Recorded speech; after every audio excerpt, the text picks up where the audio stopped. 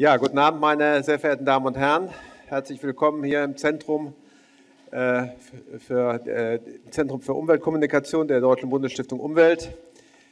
Unsere Ausstellung über Lebensmittel läuft ja jetzt schon seit einigen Monaten und äh, einmal im Monat laden wir Sie ja ein zu einem Thema, das im Zusammenhang damit steht. Und heute haben wir ein Thema ausgewählt, das vielleicht nicht nur im Zusammenhang mit den Nahrungsmitteln steht, sondern eigentlich breiter zu fassen ist, nämlich tatsächlich auch, wie wir wirtschaften und wie wir damit umgehen und sehen ja auch, dass wir neben den, neben den üblichen Marktinstrumenten anderer Dinge bedürfen und andere Dinge in den Blick nehmen müssen. Deswegen freue ich mich, dass wir heute Abend zu einer Diskussion zusammengekommen sind und ich werde jetzt nicht lange reden, sondern die Vorstellung der Diskutanten übernimmt Herr Dr. Michael Reitemeyer, Leiter des Ludwig-Winterhorst-Hauses äh, in der Nähe von Lingen. Und insoweit schön, dass Sie da sind und heute Abend uns durch den Abend führen und äh, dass Sie die Diskussionsleitung übernommen haben. Und deswegen halte ich mich jetzt zurück und übergebe Ihnen das Wort, Herr Reitemeyer. Sie sind jetzt hier der Chef des Ganzen. Naja, das ist ein bisschen sehr hochgegriffen. Also auch erstmal von meiner Seite einen ganz guten Abend. Schön, dass Sie so zahlreich hier erschienen sind. Ich glaube, das sind schon echte Fragestellungen, denen wir uns heute Abend äh, zuwenden werden. Es geht natürlich nicht darum, heute Abend mal ebenso kurz in anderthalb Stunden die Welt zu retten. Das tun wir natürlich dann nochmal an anderer Stelle. So, aber es geht darum, vielleicht so ein kleines Stückchen dahin weiterzukommen und auch Impulse zusammen, zu sammeln. Ich glaube, das ist wichtig. So etwas lebt immer wieder von Anregungen, die ja letztlich einen Anreiz dazu darstellen, die Dinge auch mal konkret umzusetzen. Wir würden heute Abend nach der Vorstellung, würden wir uns so ein bisschen an dem Dreischritt Sehen, Urteilen, Handeln entlang hangeln, sehen. Ich glaube, gesehen haben jetzt viele die Ausstellung. Ja, und äh, die Analyse ist auch offensichtlich. Wir würden dann beim Thema Urteilen, würden wir etwas schneller dann ankommen und uns über Kriterien, über Leitgedanken unterhalten und im dritten Schritt dann über Umsetzung sprechen. Natürlich auch über die Probleme, die mit Umsetzung verbunden sind. Dann so gegen halb acht, denke ich, dann haben wir alles fast erschöpfend durchdiskutiert. Dann ist das Wort an Ihnen. Das heißt, Sie haben sicherlich eine Menge Fragen mitgebracht und Sie haben hier natürlich Experten, eine Expertin, drei Experten aus unterschiedlichen Kontexten und da die würde ich an ihrer Stelle wirklich mit Fragen zudecken, mit Fragen bombardieren. So, dann werden wir so gegen 8 Uhr eine Abschlussrunde haben und ich hoffe, dass wir dann ein schönes oder ein akzeptables Ergebnis mitnehmen. Jetzt zunächst einmal nochmal zur Vorstellung der Diskussionspartner heute Abend. Hier zu meiner Linken sitzt die Landessuperintendentin des Sprengels Osnabrück von der evangelisch-lutherischen Landeskirche Hannovers, Frau Dr. Birgit Klostermeier. Sie ist jetzt die Theologin. Sie ist also für die ethischen Fragen zuständig. Die Aufgaben, die teile ich jetzt einfach mal zu. Sie sind jetzt seit 2015 hier in Osnabrück, sind 1960 in Herford geboren, haben Theologie und Soziologie in Göttingen und Heidelberg studiert. Sie waren zwölf Jahre ab 1989 als Pastorin in der Gemeindepastoral tätig in Wunsdorf. Dann haben Sie vier Jahre am Sozialwissenschaftlichen Institut der Evangelischen Kirche in Deutschland in Hannover gearbeitet. Zu Ihren Schwerpunkten gehören eben halt auch Ethik und Sozialpolitik. Und bevor Sie nach Osnabrück kamen, waren Sie vorher in Berlin, Superintendentin des Kirchenkreises Berlin-Schöneberg. Was Ihnen ganz wichtig ist, das haben Sie mir am Telefon gesagt, ist Schöpfung stärker als Gabe und Geschenk zu betrachten. Zu meiner Rechten sitzt Friedrich Ostendorf. Er ist mit Leib und Seele Biobauer. Das darf man vielleicht so sagen. Sie sind 1953 geboren und Sie schreiben auf Ihrer Homepage, dass es nie eine Frage für sie war, was sie werden sollten. Es war ganz klar, sie werden Landwirt, haben dann mit 21 ihre Meisterprüfung gemacht und danach sind sie gleich auf Konfrontationskurs zum Bauernverband gegangen, weil sie gesagt haben, Leitidee der Landwirtschaft kann nicht länger sein, wachsen oder weichen. Von 2002 bis 2005 und jetzt seit 2009 sind Sie Bundestagsabgeordneter und gleichzeitig stellvertretender Vorsitzender des Ausschusses für Landwirtschaft. Ihr Leitgedanke ist, Sie treten natürlich für die ureigenste grüne Politik ein, den Einsatz erneuerbarer Energien und für eine bäuerlich-ökologisch orientierte Landwirtschaft. Was das bedeutet, werden wir dann gleich noch ausführlich hören. Dann nochmal zur Rechten sitzt Herr Dr. André Berghegger. Er, würde ich sagen, sitzt hier heute Abend als der erfahrene Finanzpolitiker, aber auch der erfahrene Kommunalpolitiker, der sehr gut weiß, wie man vor Ort manchmal Dinge umsetzen muss. Sie sind 1972 geboren, aufgewachsen in Osterkappeln. Ihren Grundwehrdienst haben Sie in Delmenhorst abgeleistet und haben zunächst eine Ausbildung im Verwaltungsdienst des Landkreises Osnabrück gemacht. Danach haben Sie Jura in Osnabrück studiert. Von 2004 bis 2006 waren Sie dann in Melle Finanzdezernent und danach sind Sie dann Bürgermeister geworden, hauptamtlicher Bürgermeister bis 2013, bis Sie dann in den Bundestag gekommen sind und direkt gewählt worden sind. Sie wissen, dass die Schulden der öffentlichen Hand in einem krassen Widerspruch zu Nachhaltigkeit stehen und sagen auch, dass man die Leute mitnehmen muss. Last but not least, Dr. Heinrich Bottermann, ihn brauche ich nicht großartig vorzustellen, aber zwei Dinge. Ich würde sagen, er ist ein kluger Pfadfinder als Generalsekretär der DBU. Und was ich noch sagen wollte, wir haben mal eine gemeinsame Zeit, relativ kurz, im Umweltministerium von Düsseldorf gearbeitet. Ich war da Leiter des Kabinettreferats, so nennt sich das, und Herr Dr. Bottermann war stellvertretender Abteilungsleiter für Landwirtschaft und Leiter des Landesamtes für Ernährung und Jagd, Ernährungswirtschaft und Jagd. Und dann ist er schnell 2007, danach ist er dann eben halt äh, Leiter des Landesamtes für Natur, Umwelt und Verbraucherschutz geworden mit insgesamt 1400 Mitarbeitern. Und das war sozusagen dann die Generalprobe, um Generalsekretär der DBU zu werden. So, das war jetzt einmal kurz die Vorstellung auch mit wichtigen Anliegen der einzelnen Personen. Mein Name ist Michael Reitemeyer. Seit 2010 leite ich das Ludwig-Windhorst-Haus in Lingen. Wir sind also eine große Einrichtung der Erwachsenenbildung und Katholisch-Soziale Akademie des Bistums Osnabrück. Von Haus aus bin ich Bibelwissenschaftler, aber manchmal mische ich mich auch in andere Dinge ein. Theologen behaupten ja immer von sich, sie könnten alles. Das ist ein bisschen überheblich, aber gut. Sie werden Nachsicht mit mir haben. Ich möchte einsteigen zunächst einmal mit einer persönlichen Frage. Herr Berghegger, wir haben jetzt Frühling, wunderbares Wetter, die Bäume schlagen aus. Ich bin immer wieder völlig fasziniert von den Blüten. Haben Sie in den letzten Tagen oder Wochen auch etwas Zeit im Garten verbringen können? Das funktioniert. Funktioniert? Das ist wirklich eine persönliche Frage und die kann ich nur mit Ja beantworten, weil wir in der letzten Woche die Sitzungswoche hatten und jetzt die osterfreie Sitzungszeit haben und deswegen zu Hause sind. Und als ich dann in den Garten geschaut habe, hat er geschrien. Und da mussten wir natürlich mal wieder dran. Und das ist auch wirklich für die Familie und für mich persönlich immer ein großer Ausgleich zum hektischen Alltag. Was freut Sie denn da besonders an dem Garten? Das Rasenmähen oder das Vertikutieren oder noch ein paar andere Dinge? Ja, gerade jetzt in der Zeit, das Erwachen der Natur. Äh, man kann ja zusehen, wie die Natur sich entwickelt, wie alles wächst und blüht und anfängt. Und das ist einfach schön, draußen zu sein, eben in der Natur, sich dort zu bewegen und da Zeit mit der Familie zu verbringen. Und wenn man dabei noch die notwendige Gartenarbeit erledigen kann, umso schöner. Dankeschön. Frau Dr. Klostermeier, gab oder gibt es Punkte in Ihrem Leben, an denen die Schönheit der Schöpfung eine ganz besondere Bedeutung für Sie bekommen hat? Das funktioniert auch.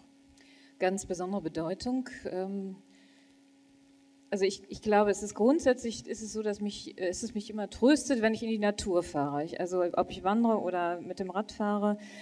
Ähm, sehr beeindruckt hat mich, das muss ich schon sagen, als ich äh, in Berlin Superintendentin war und draußen im Brandenburgischen war, die Kraniche, die dann zu 80.000 äh, einfliegen mit einem riesen Lärm. Wir haben das hier ja auch etwas, Diepholz im Diepholzer Moor, aber das waren nochmal ganz andere Größenkategorien und das, das fand ich sehr beeindruckend, beängstigend, äh, alles gleichzeitig. Es hat mich schon sehr sprachlos gemacht.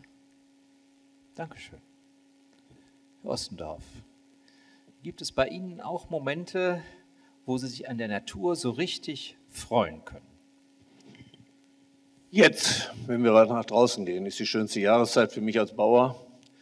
Ähm, ja, wir haben sitzungsfreie Zeit in Berlin. So schaffe ich es auch jetzt manchmal äh, auf dem Acker, auf den Wiesen zu sein.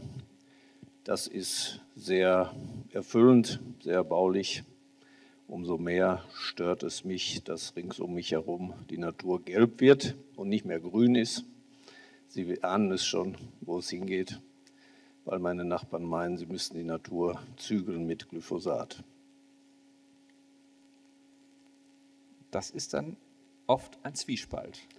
Ich habe das Grundverständnis, dass diese Jahreszeit im Grundton in der Natur grün ist und nicht gelb. Gelb wird es erst, wenn der Raps blüht, das ist noch ein paar Tage hin, aber das wird demnächst auch passieren. Dann wandelt sich der Acker teilweise zu gelb. Oder bei den Forsythien. Aber das ist ja Gut. durchaus dann ein anderes, schöneres Gelb. Herr Bottermann, auch Sie kommen jetzt dran. Gibt es bei Ihnen zu Hause, ich glaube am Niederrhein sind Sie beheimatet, gibt es da so einen Ort, wo Sie sich dann auch ganz gerne mal in die Natur zurückziehen? Ja, da gibt es äh, viele Orte, aber ein ganz wichtiger Ort ist, äh, ich habe vor 18 Jahren gegen viele Widerstände eine Wallhecke gepflanzt. Äh, mit äh, damals im Kreis Wesel zusammen gab es ein Programm und dann habe ich 500 Meter Wallhecke gepflanzt und mich äh, von durchaus auch einigen kritisieren lassen, wie kann man denn sozusagen gute Fläche für eine Wallhecke äh, verwenden. Und jetzt nach 18 Jahren ist diese Wallhecke groß, blüht und ich nenne es immer, das ist der Hort der biologischen Vielfalt, weil dort Pflanzen sind, Tiere sind, Insekten sind und auch Kleinstlebewesen, die man häufig findet da bin ich wirklich sehr gerne und schaue mir das an und kann mich da jedes Mal daran freuen, diese Entscheidung getroffen zu haben. Und Sie gehören dann so ein bisschen mit zum Ökosystem der Wallhecke. Ne? Genau, ne? richtig. Ja, ja. Der Beobachter, genau. Ja, vielen Dank. Ich glaube, also das scheint fast banal zu sein, aber ich glaube, unser ganz persönlicher Zugang zum Thema Schöpfung ist nicht so ganz unwichtig. Ist ja die Frage, ob wir alles als Mittel zum Zweck sehen oder ob wir auch gelegentlich mal staunen. Kinder können noch am besten staunen. Aber ich halte das für eine ganz wichtige Grundhaltung. Und damit sind wir jetzt beim nächsten Schritt. Wir wollen uns, wir sind jetzt beim Urteilen sozusagen, wir wollen uns mal die Kriterien angucken, die unser Handeln bestimmen könnten. Und da gab es natürlich in den letzten zwei, drei Jahren jede Menge von Papieren. Unser tägliches Brot gibt uns heute von Seiten der EKD. Es gab die Enzyklika Laudato Si von Papst Franziskus. Es gab Verlautbarungen des Wissenschaftlichen Beirats der Bundesregierung Globale Umweltveränderungen. Es gab die Weltklimakonferenz und, und, und. Und es wurde auch ziemlich viel Papier produziert. Aber es lohnt sich einfach mal zu gucken, was steckt da eigentlich hinter. Und so geht es jetzt erstmal meine erste Frage an Sie, Herr Ostendorf. Haben Sie sich gefreut, als Papst Franziskus seine Enzyklika veröffentlicht hat? Sie fragen mich als überzeugten Protestanten. Ja, ich habe mich trotzdem gefreut, dass die andere Kirche an ihrer Spitze sich so positioniert. Ja, darüber habe ich mich gefreut. Ähm, mein Blick ist natürlich sehr stark auf meine Kirche gerichtet. Ähm, Gut, das ist. Und ähm, da haben wir natürlich auch ähnliche Papiere. Ich glaube, darüber lohnt es zu diskutieren. Das ist ähm, natürlich wichtig, dass wir da einsteigen. Wenn wir die Exegese betreiben, denke ich, werden wir etliche Themen gemeinsam besprechen können. Muss man Christ sein eigentlich, um das zu unterschreiben, was jetzt, sagen wir mal, hier in unser tägliches Brot steht oder was in Laudato Si steht? Oder würden Sie sagen, das ist auch schon etwas weiter Nein, natürlich ist jeder auch wirklich eingeladen, hier mitzudiskutieren. Ich glaube, das gelingt auch. Ich kann das anekdotisch auch erzählen. Ich bin mit, war, ja, soll man sagen, ich bin mit Moderator eines äh, Gebetsfrühstückskreises im Deutschen Bundestag. Ähm, wir treffen uns sehr regelmäßig jeden Freitagmorgen, um diese Dinge zu bereden, über die Kirchengrenzen hinweg. Bei uns heißt es, wer den Talar trägt, gebe ihn bitte an der Garderobe ab. Ähm, wir sind ein sehr offener Kreis. So stößt auch ein sehr bekannter Kollege der Linken, der jetzt äh, seine politische Frontkarriere beendet hat, so ein bisschen sich zurückgezogen hat zu uns. Bekannterweise ist er Atheist und ähm, er sagt, es ist so erbaulich mit euch zu diskutieren. Ich finde immer, eine Welt ohne Gott ist langweilig. Und von daher, auch da kann man dann, denke ich, wiederum in die inhaltliche Arbeit einsteigen, wenn man solch ein Verständnis hat. Was ist denn da, sag mal, wenn man diese Dinge liest, was ist für Sie da eine, eine der wichtigsten Gedanken oder Kriterien, nach denen man durchaus auch handeln kann? Das ist ja einiges, was da aufgelistet ist. Ja, ich denke, dass für mich ist, am, ist das Wichtige, dass wir natürlich ähm, Verantwortung übernehmen als Menschen, dass wir im Sinne des guten Hirten, wir uns jetzt nicht überhöhen, aber das Verständnis guten Hirten hier Verantwortung übernehmen für äh, Vorgänge in der Natur. Und darüber müssen wir immer wieder nachdenken, kritisch nachdenken, meinetwegen auch in der Sache hart diskutieren, was das denn bedeutet, Verantwortung zu übernehmen.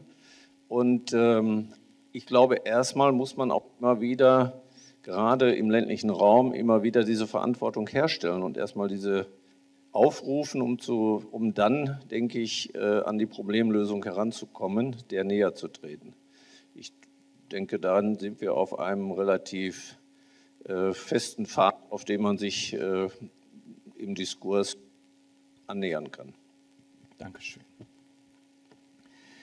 Herr Berghecker, was sind für Sie in diesen vielen Papieren so ganz wichtige Leitgedanken? Was bedeutet für Sie zum Beispiel Nachhaltigkeit? Wir hatten da so ansatzweise drüber gesprochen, aber das ist, glaube ich, ein sehr, sehr wichtiges Thema für Sie, mit dem Sie sich befassen, aber in, teilweise in überraschend anderer Hinsicht. Ja, Nachhaltigkeit, das ist ja wahrscheinlich ein Begriff, der in den letzten Jahren oder Jahrzehnten immer mehr in den Fokus gekommen ist, der aber in Deutschland, glaube ich, schon ziemlich lange präsent ist. Gucke ich zu Herrn Bottermann. Ähm, ich glaube, im Bereich der Forstwirtschaft schon mehrere hundert Jahre, zwei oder dreihundert Jahre, von Karlowitz war das, glaube ich. Ähm, da tauchten diese Begriffe auf, aber sie wurden nicht immer so auf viele Bereiche ausgedehnt. Und für mich persönlich hat der Begriff Nachhaltig, Nachhaltigkeit natürlich was mit Generationengerechtigkeit zu tun, mit Blick in die Zukunft, mit vielleicht auch Verantwortungsethik, dass wir gerade in der Politik schauen, dass wir nicht nur handeln, um ein, ein Thema zu lösen, sondern auch die Auswirkungen bedenken. Und das in, in umfassendsten, im umfassendsten Sinne. Wenn es irgendwie geht, wir werden immer an Grenzen stoßen, aber wenn es irgendwie geht, äh, dann sollten wir die Themen und Herausforderungen, die uns aktuell beschäftigen, auch in ihren Folgen jetzt lösen können und nicht auf nachfolgende Generationen verschieben, das, die Problemlösung. Und das, äh, wenn Sie mich so ansprechen mit Ihrem, mit Ihrem Nebensatz, äh, natürlich hat auch der Bereich Finanzen für mich äh, etwas damit zu tun, weil wir unterschiedlichste Interessen in allen Bereichen, auf allen staatlichen Ebenen haben. Und Generationengerechtigkeit bedeutet für mich, dass wir versuchen sollten, immer nur das Geld auszugeben, was wir einnehmen und nicht Geld ausgeben und dann schauen, wie kann ich es finanzieren, sondern genau umgekehrt, um dann den Interessenkonflikt, den es ja in vielen, vielen Bereichen gibt, am besten lösen zu können. Das ist nur eine Facette davon. Äh, ich möchte jetzt aber nicht die ganze Zeit äh, alleine darüber diskutieren, wie können wir also umfassend Leben in Würde für viele, viele Personen, nicht nur hier bei uns, uns geht es hier gut, aber in möglichst vielen Regionen der Erde herstellen und wie können wir die Interessenkonflikte lösen, die es zweifelsohne gibt. Und da müssen wir ganzheitlich denken, integrativ denken, international denken. Das ist vielleicht eine Umschreibung vom Begriff Nachhaltigkeit. Vielen Dank, Frau Klostermeier.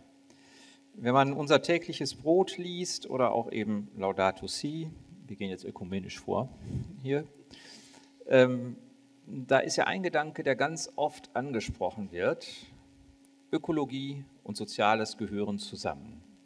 Und Sie selber sagen auch, ethische Fragen und soziale Fragen sind ganz wichtig für mich. Warum hängt das so eng miteinander zusammen, die Ökologie und das Soziale? Also wir können gerne und sehr gut ökumenisch zusammengehen, weil wir da in der Tat, glaube ich, ähm, eine große Übereinstimmung haben zwischen evangelisch-katholischer Kirche. Ähm, nur mal kurz zurückblickend begann dieser Prozess des sich damit Beschäftigens ja schon in den 80er Jahren in starker Weise mit der Nachrüstung. Und da waren eigentlich die Themen alle schon gesetzt. Frieden, Gerechtigkeit, Bewahrung der Schöpfung. Da haben sie alle drei ähm, Komponenten schon zusammengefasst damals. Dam damals war an vorderster Stelle, wir müssen sehen, dass wir die Welt erhalten, indem wir Frieden schaffen. Und zugleich ging mit einher, äh, wir müssen auch soziale Gerechtigkeit schaffen, weil ohne die es keinen Frieden gibt. Und soziale Gerechtigkeit hat dann, und das war der Lernprozess im Grunde in den 90er Jahren, ganz stark auch mit Klimagerechtigkeit zu tun. Und so ist es dann zu diesem großen äh, Prozess gekommen, in dem, glaube ich, alle Kirchen weltweit, würde ich jetzt mal behaupten, involviert sind. Es nennt sich jeweils anders. Und ein Auswuchs davon ist äh, Laudato Si äh, mit diesem Papst, der finde ich in, in wirklich wunderbarer Weise, und ich weiß, dass viele evangelische Protestanten da genauso wie Sie auch mitgehen können und sagen, das ist eben auch unsere Sprache, ähm, auch poetisch das zusammenfasst und den Begriff des Hauses nimmt und ähm, ihn entfaltet. In unser Brot, unser täglich Brot gib uns heute. Die EKD-Schrift nimmt zeitgleich genau die Gedanken auf. Es geht um einen weltweiten Kontext, um ein Verständnis ähm, letztlich einer globalisierten Ethik.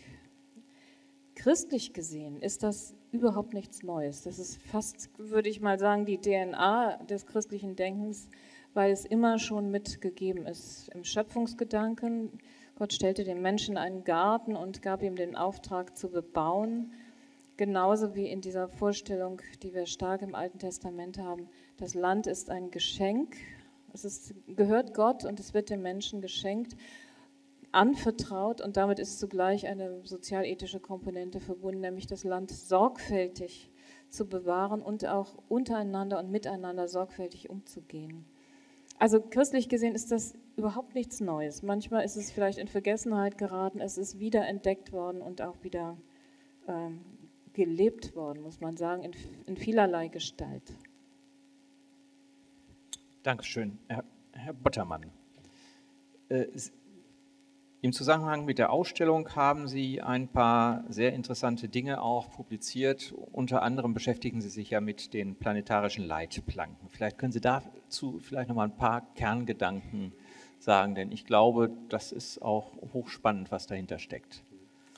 Ja, wir wissen ja, dass unser Erdsystem, es gibt eben eine wissenschaftliche Ausarbeitung, die versucht zu beschreiben, wie gefährdet oder wie stabil ist unser Planet. Und dann hat man, äh, hat insbesondere der, der, Schwede Johann Rockström in Verbindung mit äh, Joachim Schellenhuber, dem deutschen Klimaforscher, haben sie neun Grenzen beschrieben, neun Systeme, Prozesse auf diesem Erdball, die für die Stabilität unseres Klimas, unserer Ernährung äh, und unserer Lebensbedingungen wichtig sind. Eigentlich, wir leben in der in einem klimatisch und äh, erdgeschichtlich sehr stabilen Zeitalter, dem eben Holozän, dass wir an der Stelle wirklich auch die Grundlagen hatten, dass sich unsere Gesellschaft, unsere Menschheit so entwickeln konnte, weil eigentlich die großen Unbilden dieser Welt, dass die Erde untergehen kann oder was auch immer, eigentlich dadurch weitgehend ausgeschlossen waren. Aber wir haben es als Menschheit geschafft, vier dieser Grenzen doch sehr stark zu belasten.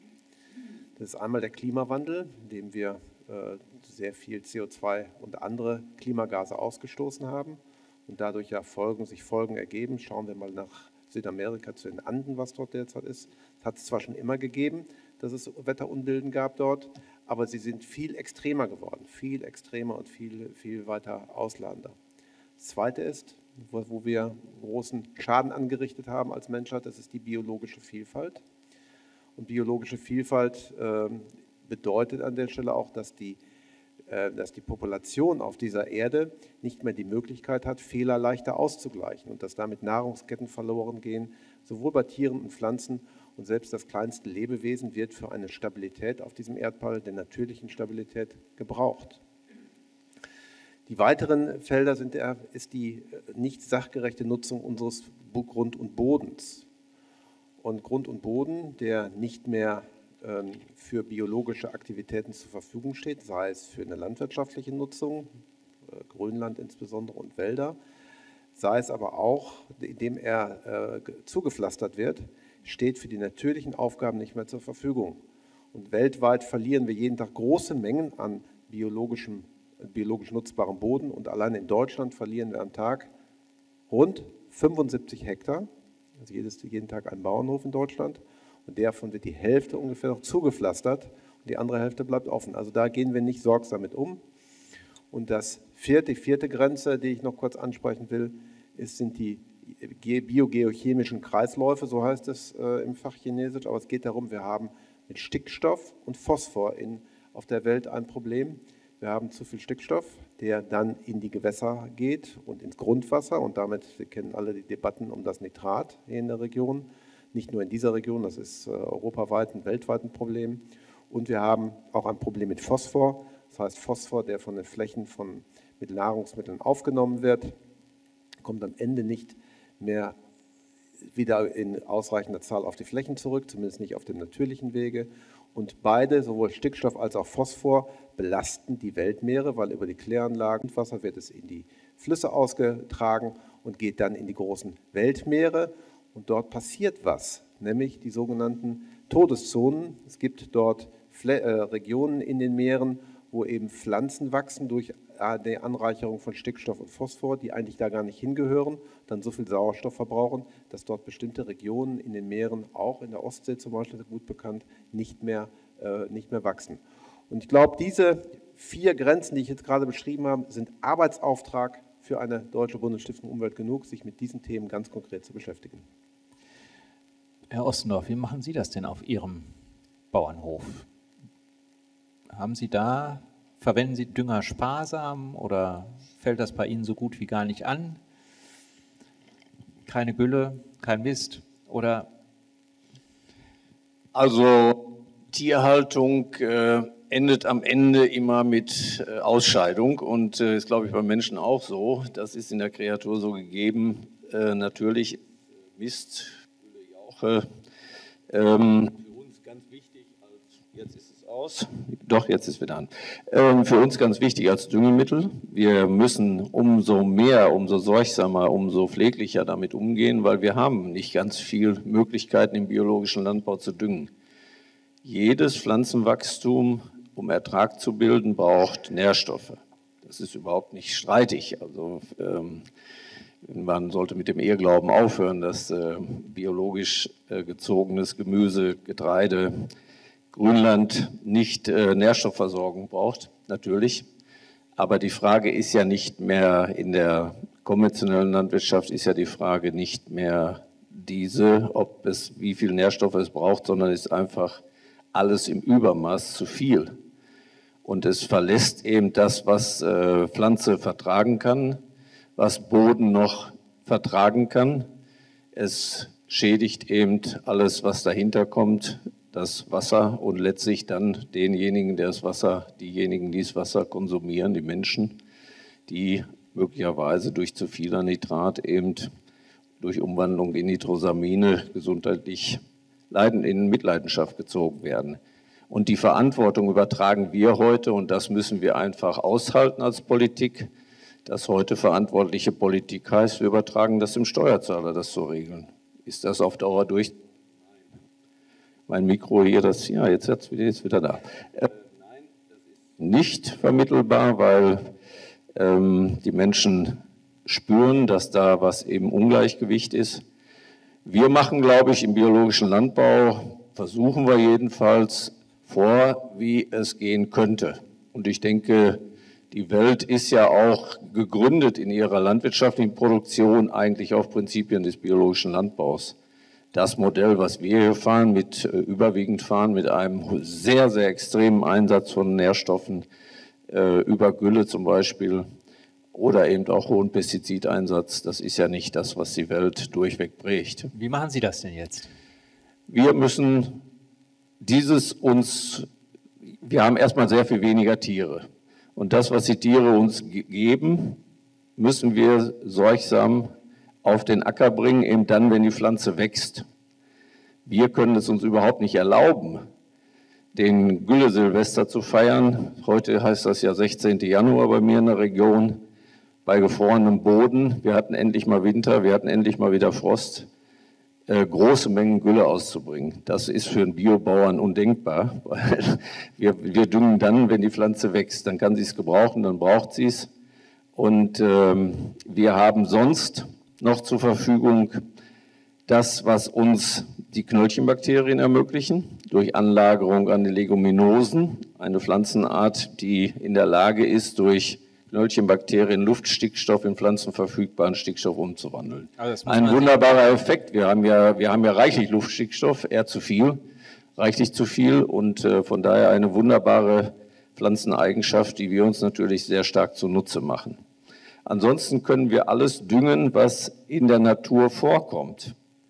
Keine veränderten Geschichten. Also wenn Kalke, die abgebaut werden, kohlensaure Kalke können bei uns eingesetzt werden natürlich begrenzt, aber solche Dinge dürfen wir einsetzen. Äh, Phosphat, Düngung kommt im Grunde gar nicht in Frage. Unsere Böden sind überversorgt mit Phosphat. Wir brauchen in der Landwirtschaft ein Programm, ohne Phosphat auszukommen. Wir haben Versorgungsstufen durchweg in der Landwirtschaft, die extrem hoch sind. Darunter zu kommen, wird uns Jahrzehnte beschäftigen. Ähm, das würde bedeuten, hier in der Region, dass in großen Teilen dieser Region keine Gülle mehr gefahren werden dürfte. Ich habe mit Ihrem Mitarbeiter im Vorfeld gesprochen und ich habe irgendwo letzte Woche in der FAZ gelesen, es gibt insgesamt, glaube ich, 200 Milliarden Liter Gülle und Mist, die so Jahr für Jahr anfallen. Das ist also schon eine, schon eine ganze Menge. Also wenn man das in Waggons packen würde, würde man einmal um die Erde rumkommen. Äh, also ist natürlich sicherlich gar nicht so einfach. Im Augenblick gibt es, es wird jetzt ein bisschen politisch, gleich komme ich nochmal zur Ethikerin und auch nochmal zu Ihnen. Ähm, Herr Bergheger, Sie, Sie verfolgen sicherlich auch so ein bisschen zumindest, auch wenn das nicht Ihr ureigenstes Feld ist, die Frage der Düngeverordnung und äh, schauen, wie, wie ist Ihre Partei da aufgestellt? Also wir versuchen natürlich zeitnah die Vorgaben, die es auf europäischer Ebene gibt, umzusetzen. Da hatten wir auf der europäischen Ebene die Nitratrichtlinie und daraus gab es Schlussfolgerungen. Wir mussten das Düngegesetz anpacken und wir mussten die Düngeverordnung anpacken. Und die Frage ist immer, wie kann man das ordnungsgemäß umsetzen, ohne über Gebühr bürokratische Aufwendungen nachher zu erhöhen. Weil es muss ja ein Kompromiss am Ende dabei rauskommen, um die, wie Herr Ostendorf es vorgetragen hat, Umweltinteressen in dem Sinne zu berücksichtigen und die Umwelt zu schonen, vielleicht sogar zu verbessern, die Bedingungen. Aber das Ganze muss ja praxistauglich sein. Denn am Ende müssen wir ja schauen, wir konnten das vorhin in der Ausstellung, wer da war, auch sehen, wir müssen ja schauen, dass wir unsere Betriebe, unsere kleinen und mittleren Betriebe nicht überfordern, weil jede Bürokratie, jede neue Anforderung muss umgesetzt werden, kostet am Ende Zeit, Aufwand, im Zweifel auch Geld. Und diesen Spagat gilt es hinzukriegen. Und durch diese Abstufung, es ist beides im Bundesrat abgesegnet worden, Düngegesetz und Düngeverordnung, ist aus unserer Sicht, glaube ich, ein tragbarer Kompromiss entstanden, in dem Vorschriften deklariert wurden über Obergrenzen, über Bedarfsermittlungen, über Ausbringungsarten, über Techniken, über zeitliche Befristungen. Das kann Herr Ossendorf im Detail viel genauer beschreiben, ohne aber den Blick aus dem Auge zu verlieren, wie ist es denn in der Praxis umzusetzen weil eins möchte ich nicht und eins möchten wir am Ende nicht, dass wir Standards so hoch setzen, dass am Ende zu viele Betriebe schließen müssen, nicht mitmachen können, weil dann, was nützen uns salopp gesagt die höchsten Kriterien, die wir hier umsetzen, wenn wir aber damit unsere Leistung nicht erbringen können und Leistungen von außerhalb kriegen, wo wir Standards nicht überwachen und kontrollieren können. Und diesen Kompromiss gilt es, glaube ich, immer auszutarieren.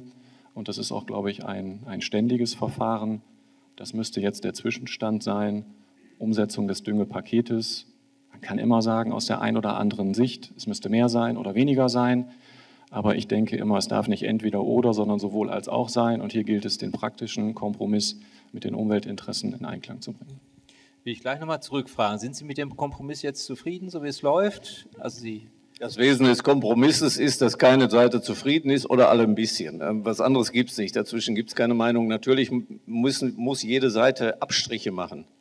Natürlich sind grünen Vorstellungen, nennen wir sie mal so, nicht deckungsgleich mit den Vorstellungen der Kolleginnen und Kollegen von CDU, CSU. Das ist natürlich klar, das liegt in der Sache. Wir haben unterschiedliche Zugänge dazu. Ähm, nehmen wir diese Region, wir sind hier im Zentrum der tierischen Veredelung, wie es so schön heißt, sprich der vielen Schweineställe, der zu vielen Schweine. Osnabrück grenzt daran. Oldenburg ist natürlich da noch prädestinierter. Ja, wir müssen einfach, wir müssen einfach äh, überlegen, wie gehen wir mit solchen Intensivregionen um, die unglaublich erfolgreich, das will ich hier erstmal sagen, in den letzten Jahrzehnten ihre Landwirtschaft entwickelt haben. Wir befinden uns hier in Regionen, die nicht zu den gesegneten Boden, von der Bodengüte her gesegneten Regionen gehören, die über die Mast von Schweinen ähm, sehr viel Wohlstand in die Dörfer gebracht hat, auf die Betriebe gebracht hat. Das ist so. Das war die historische Leistung, die, dieses, äh, die, die diese Mast, diese intensive Mast gebracht hat. Aber jetzt sind natürlich Grenzen überschritten und das ist natürlich unendlich schwer, das wieder auf ein vernünftig verträgliches Maß zu führen. Wenn wir nochmal zurückgehen, ich bin Biobauer, wir haben 0,6 GV, das ist so eine Rechengröße pro Hektar Tiere bei uns auf dem Betrieb. Wir haben 80 Hektar Betrieb, das ist also noch nicht mal eine Kuh pro Hektar. Eine Kuh ist eine GV, eine Großvieheinheit. Wir ja, haben, in, wir haben in, Ol wir haben in Fechter haben wir 4,5. In Oldenburg sind wir deutlich über 3. Also das ist die, das ist die Situation, in der wir uns befinden. Also dieses Mikro bei mir mal aus. Ich weiß nicht, vielleicht müssen wir mal anzunehmen. Ja, ich weiß nicht wie. Ähm, gut, ja, das ist, äh, das beruht auf Gegenseitigkeit. Das ist das Grundverständnis von Parlamentariern. Wir hoffen, dass das nach der Bundestagswahl mit den neuen Parlamentarierinnen und Parlamentariern auch so läuft. Ähm, wir sind hier natürlich in der besonderen Herausforderung, dass jeder weiß, dass die Tierhaltung jedes vernünftige Maß überschritten hat und jetzt natürlich scharfe, letztlich ist die Begründung dieser scharfen neuen Verordnungen und Gesetze natürlich ein großes Stück dargelegt, wo die intensive Tierhaltung stattfindet. Das trifft natürlich auch, will ich auch sagen, das trifft natürlich in solchen Regionen, wenn wir Regelungen machen, immer, immer möglicherweise auch falsche. Natürlich gibt es auch hier viele Betriebe, die alles ziemlich richtig machen, die genauso dann behandelt werden wie die, die jedes Maß unvernünftigerweise überschritten haben. Äh, so ist es. Das hört man ja nun ganz viel im Moment auf den Versammlungen. Warum ich? Ich habe doch immer das und dies gemacht und das war doch eigentlich richtig. Ja, aber so ist das bei solchen Regelungen. Wir haben diese Herausforderung zu meistern. Also dieser Kompromiss, der gefunden wurde, hat sechs Jahre gebraucht. Also sechs Jahre haben wir daran gearbeitet, bis es so weit gekommen ist. Ich sage, wir Grüne haben alles gegeben und ich glaube, wir haben auch den Kollegen der CDU, CSU und Kolleginnen einiges abverlangt. Ähm, sie sind, glaube ich, auch noch nicht überall durch. Ich kriege natürlich auch mit, dass Sie sich in den Regionen durchaus scharfer Kritik ausgesetzt sehen. Ähm, Sie können natürlich immer darauf verweisen, dass Sie Grün waren, aber das äh, hilft, am, äh, hilft, auf Dauer auch nicht. Man muss ja sagen, es ist jetzt ein Kompromiss, der zwischen allen Seiten gefunden wurde. Ob dieser Kompromiss in Europa Bestand hat, das wissen wir noch gar nicht. Auch das wissen wir nicht. Wir haben ja ein Vertragsverletzungsverfahren laufen, das müssen wir auch sagen. Wir sind nicht die Musterknaben Europas, was wir immer gerne vor uns hertragen.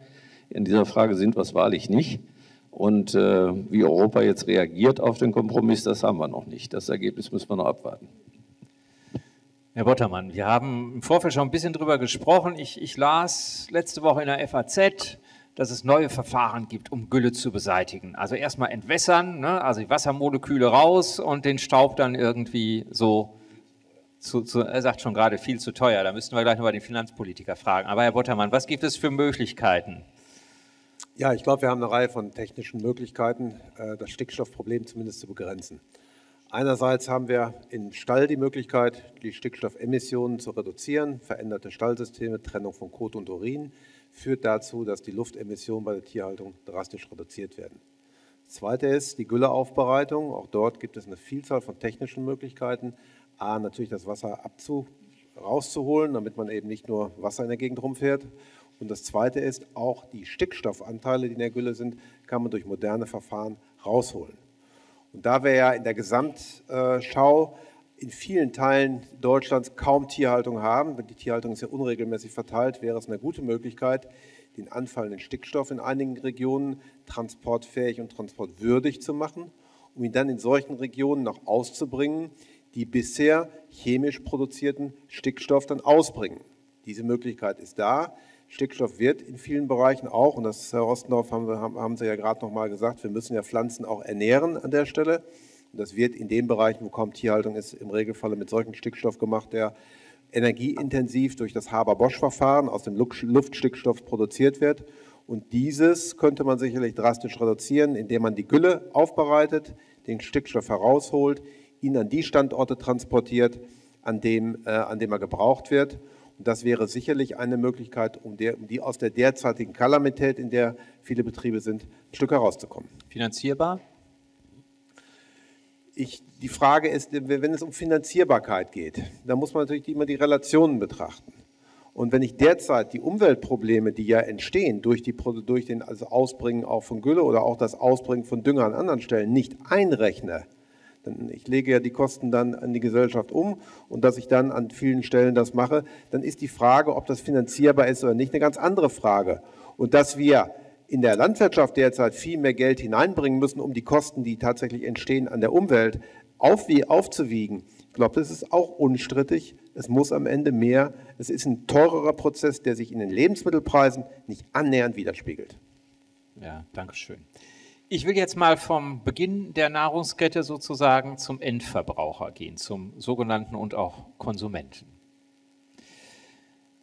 Allgemein wird ja gesagt, Bio ist immer ein bisschen teurer als normal.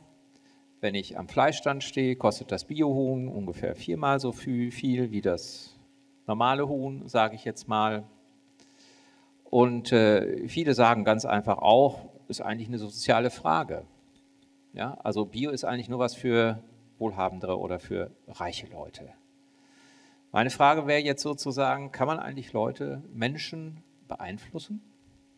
Kann der Staat jetzt sagen, okay, wir sagen jetzt, wird nur noch Bio produziert oder wir ordnen an, dass eben halt Familien jetzt zum Thema Klima am Wochenende nicht mehr eben mal nach Mallorca fliegen oder nach New York, um da einzukaufen oder so. Ja, kann man das irgendwie anordnen? Die Frage, die dahinter steht, ist schlicht und ergreifend, wie gehen wir mit dem Konsumenten um? Kann man da Haltungen prägen? Und das ist jetzt eine Frage an Frau Dr. Klostermeier. Sie haben ja vorhin einleitend gesagt, als Theologe seien Sie auch für alles äh, zuständig. Das beziehen Sie jetzt auch auf mich. Ähm, ich, also erstens glaube ich schon, dass es natürlich gelingt, Haltungen zu prägen. Und ähm, wenn ich einleitend gesagt habe, ich verstehe Schöpfung eben auch als Gabe, ist das schon eine, eine, eine, eine Haltung, die macht einen Unterschied. Wenn ich begreife, dass sowohl ich selbst als lebender Mensch, als auch mein Gegenüber, als auch mein Kontext, in dem ich lebe, Natur, etwas ist, das mir nicht gehört und ich so etwas begreife, verändert das mein Handeln. Davon bin ich wirklich sehr überzeugt. Und ähm, innerhalb der Kirche, aber auch sonst in unserem Bereich versuchen wir das in Kindertagesstätten, wenn zum Beispiel schon dort probiert wird, Konsumverhalten zu beeinflussen, dass auch Kinder schon lernen, relativ früh, es geht nicht darum, sich zu verschulden zum Beispiel, das ist ja ein Aspekt, der soziale Aspekt, sondern dass man auch Dinge kaufen kann, die Wert haben oder man Dinge, dass, dass es Dinge gibt, die man nicht kaufen muss, die trotzdem Wert haben. Äh, also diesen Zusammenhang deutlich zu machen. Und ähm, ich glaube, da fängt es an und dann hat es vielleicht Auswirkungen auf das Elternhaus. Das sind ja nur Kleinigkeiten. Oder wenn ich weiter davon beschreibe, wie wir äh, jetzt in der evangelischen Kirche haben wir ein Umweltmanagement, wenn wir da versuchen, Friedhöfe so zu gestalten, dass wir Biodiversität tatsächlich auch äh, garantieren können, heißt das, dass wir Menschen bilden, ganz viele Ehrenamtliche, die mit Leidenschaft dabei sind und das natürlich so weitertragen. Das sind alles Kleinigkeiten, aber das sind Veränderungen. Wenn wir in Gemeindehäusern überlegen, woher beziehen wir unsere Lebensmittel, wie, also wenn wir ein großes Essen machen, woher kommt das, dass man so etwas transparent und plausibel macht? Alles nur Kleinigkeiten, aber ich glaube, dass dieser Weg, den wir vorhaben, aus vielen dieser Kleinigkeiten besteht. Und Reglementierung staatlicherseits, die muss es wahrscheinlich an bestimmten Dingen auch geben. Ähm, aber das wird so oder so vermutlich dann wiederum eine Frage der Ökonomie sein. Sie haben es ja eben auch an, was, was kostet uns wie viel und wie viel sind wir bereit, es auch kosten zu lassen. Und das ist ein, ein steiniger und mühsamer Weg, da jeweils neuere Prioritäten zu setzen. Also ich fand das schön, wie Sie das gesagt haben. Also auch im Kleinen muss man eine Menge tun. Und ich glaube auch, dass das also sehr, sehr wichtig ist. Also diese kleinen Ansätze, die da sind, fördern. Und vielleicht ergibt sich ja irgendwann mal eine kritische Masse, sodass man sagt, okay, das ist so toll, das würden sozusagen dann auch mehr verfolgen. Aber im Kleinen fängt es letztlich an. Also auch wenn man sich jetzt mal den Anteil anguckt, wie viele Biobauernhöfe gibt es im Verhältnis zu konventioneller, zu konventionellen Betrieben ungefähr? Ja, wir sind momentan in einem wahnsinnigen Wachstum. Liegt einfach daran, dass die konventionelle Landwirtschaft in großen Teilen in einer fundamentalen Krise ist. Äh, vor allen Dingen die Milchviehbetriebe. Das ist ja bekannt, dass die existenziell äh, heftigst bedroht sind. Ähm, ich bin 64 Jahre. Ich habe noch nie solch eine Milchkrise erlebt. Es gab schon schwere Zeiten, auch früher. Aber ähm, dass wir in einem kurzen Zeitraum von 2014 auf 2016 fast 12 Prozent unserer Milchviehbetriebe verloren haben, unwiederbringlich weg. Ähm, so schnell war es noch nie.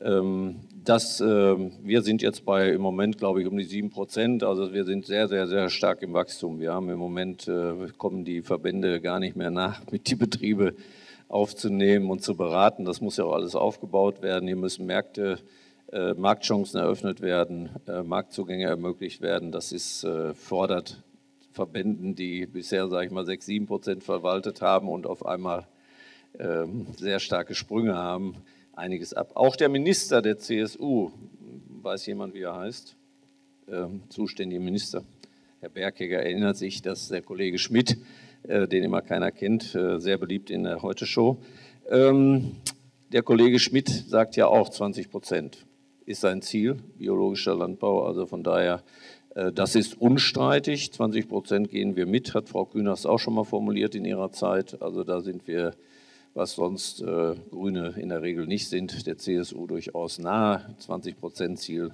wollen wir. In die Richtung soll es gehen. Aber man muss auch diese Prozesse steuern. Wenn solch ein Wirtschaftsbereich in kurzer Zeit sich sehr stark verändert, dann fordert das einiges.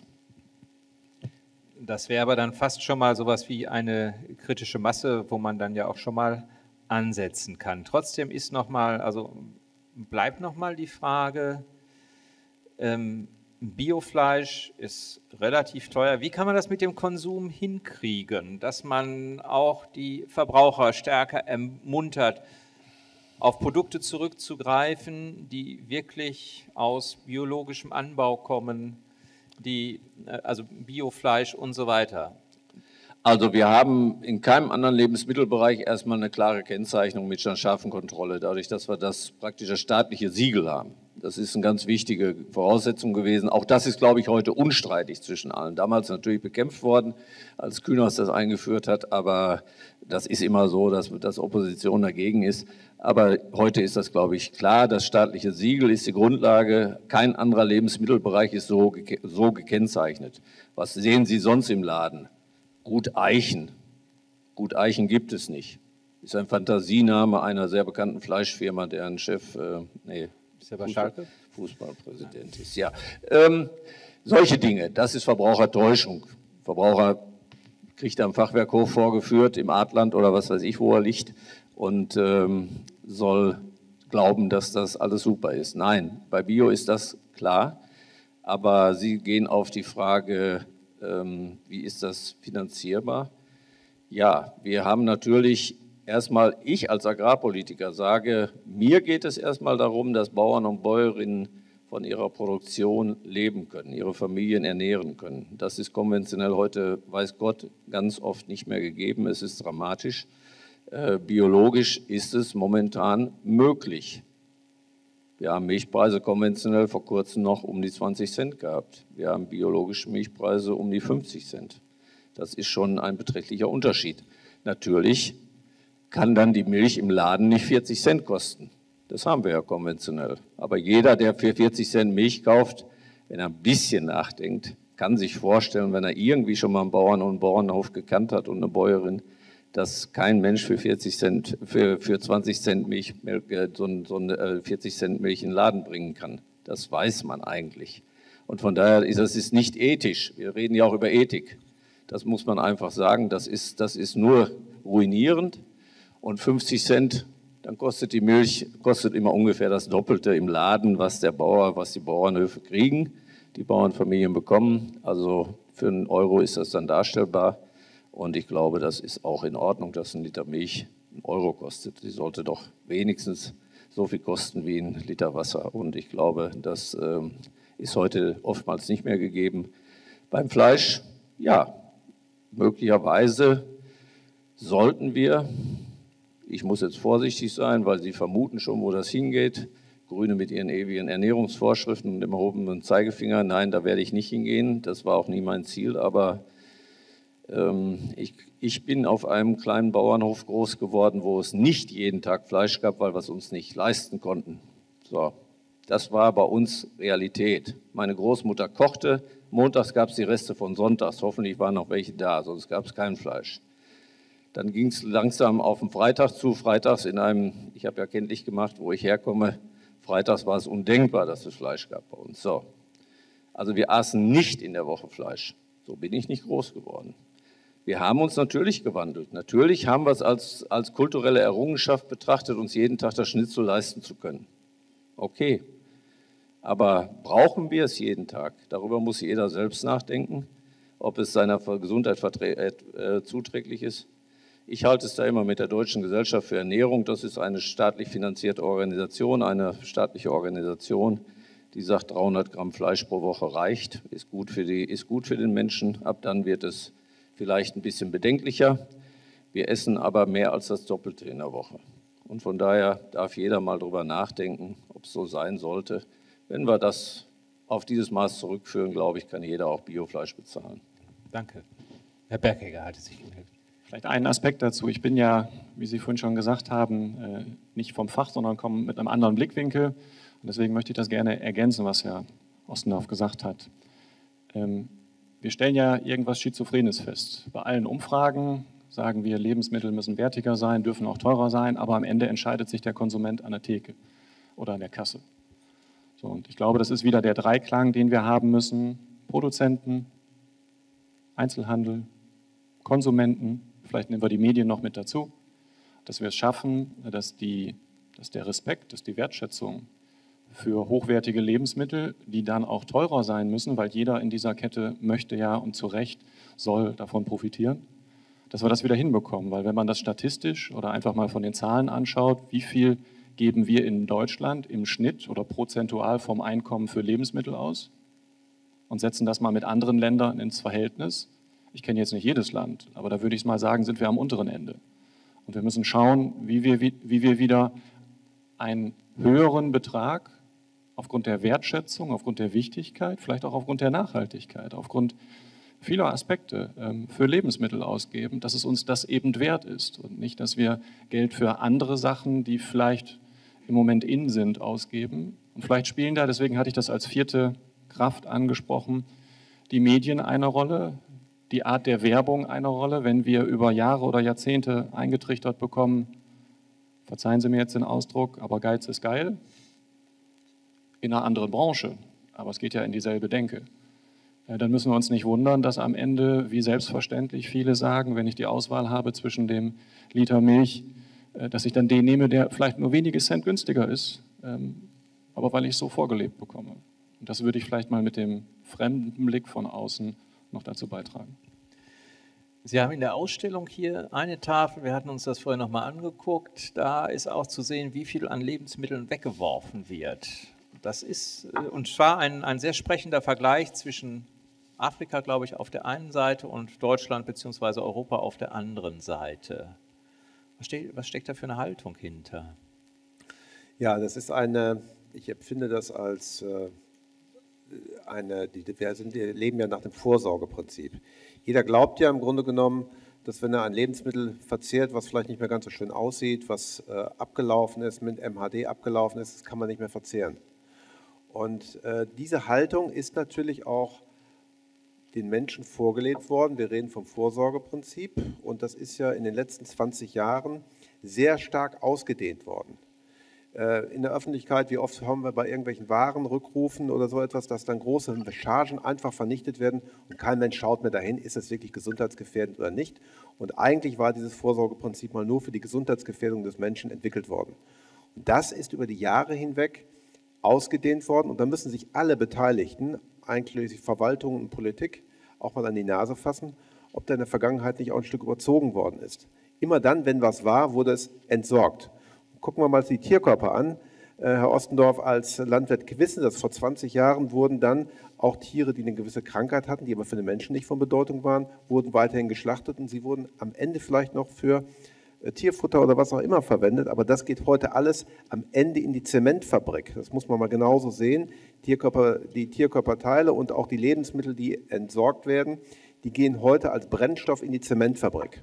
Und das ist eine Art und Weise des Umganges, und deswegen wehre ich mich so ein bisschen dagegen, das den Verbrauchern immer an den Hals zu hängen. Die gehen nicht sorgsam damit um, sondern die Verbraucher sind nach meiner Wahrnehmung auch in den vergangenen Jahrzehnten, 20, letzten 20 Jahren, falsch konditioniert worden. Das heißt, man hat den Respekt vor den Lebensmitteln verloren, auch deswegen, weil sie letzten Endes im Vergleich zum Einkommen immer billiger geworden sind. Und damit ist die Wertschätzung gegenüber den Lebensmitteln verloren gegangen.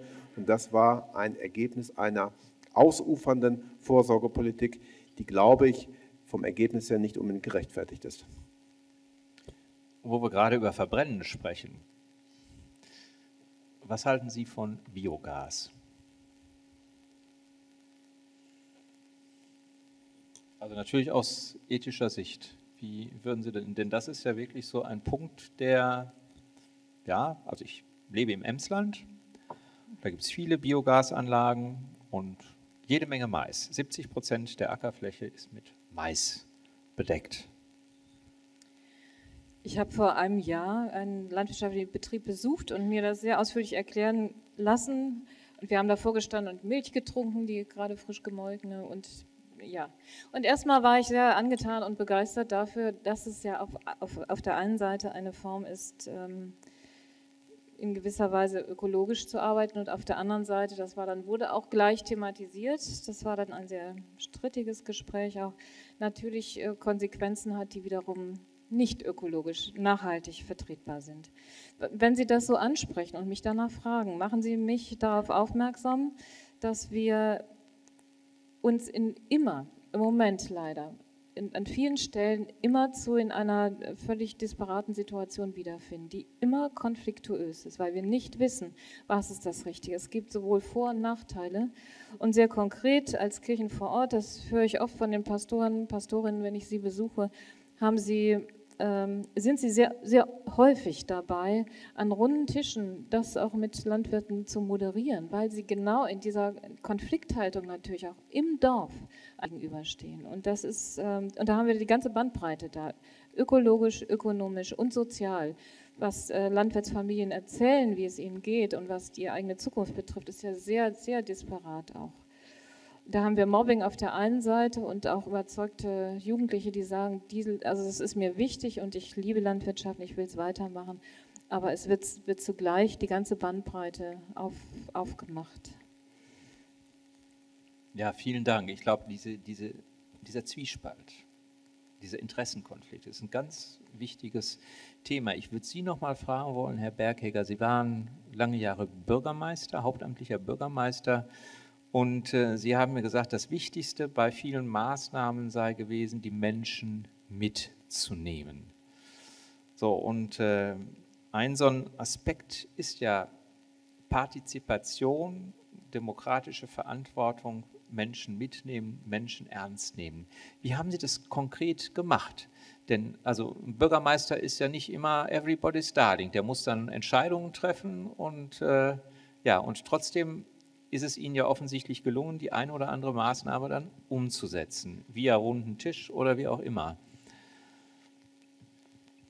Also als die Idee aufkam oder die, die Bewegung aufkam, Biogasanlagen vermehrt zu bauen, da war das natürlich was Neues.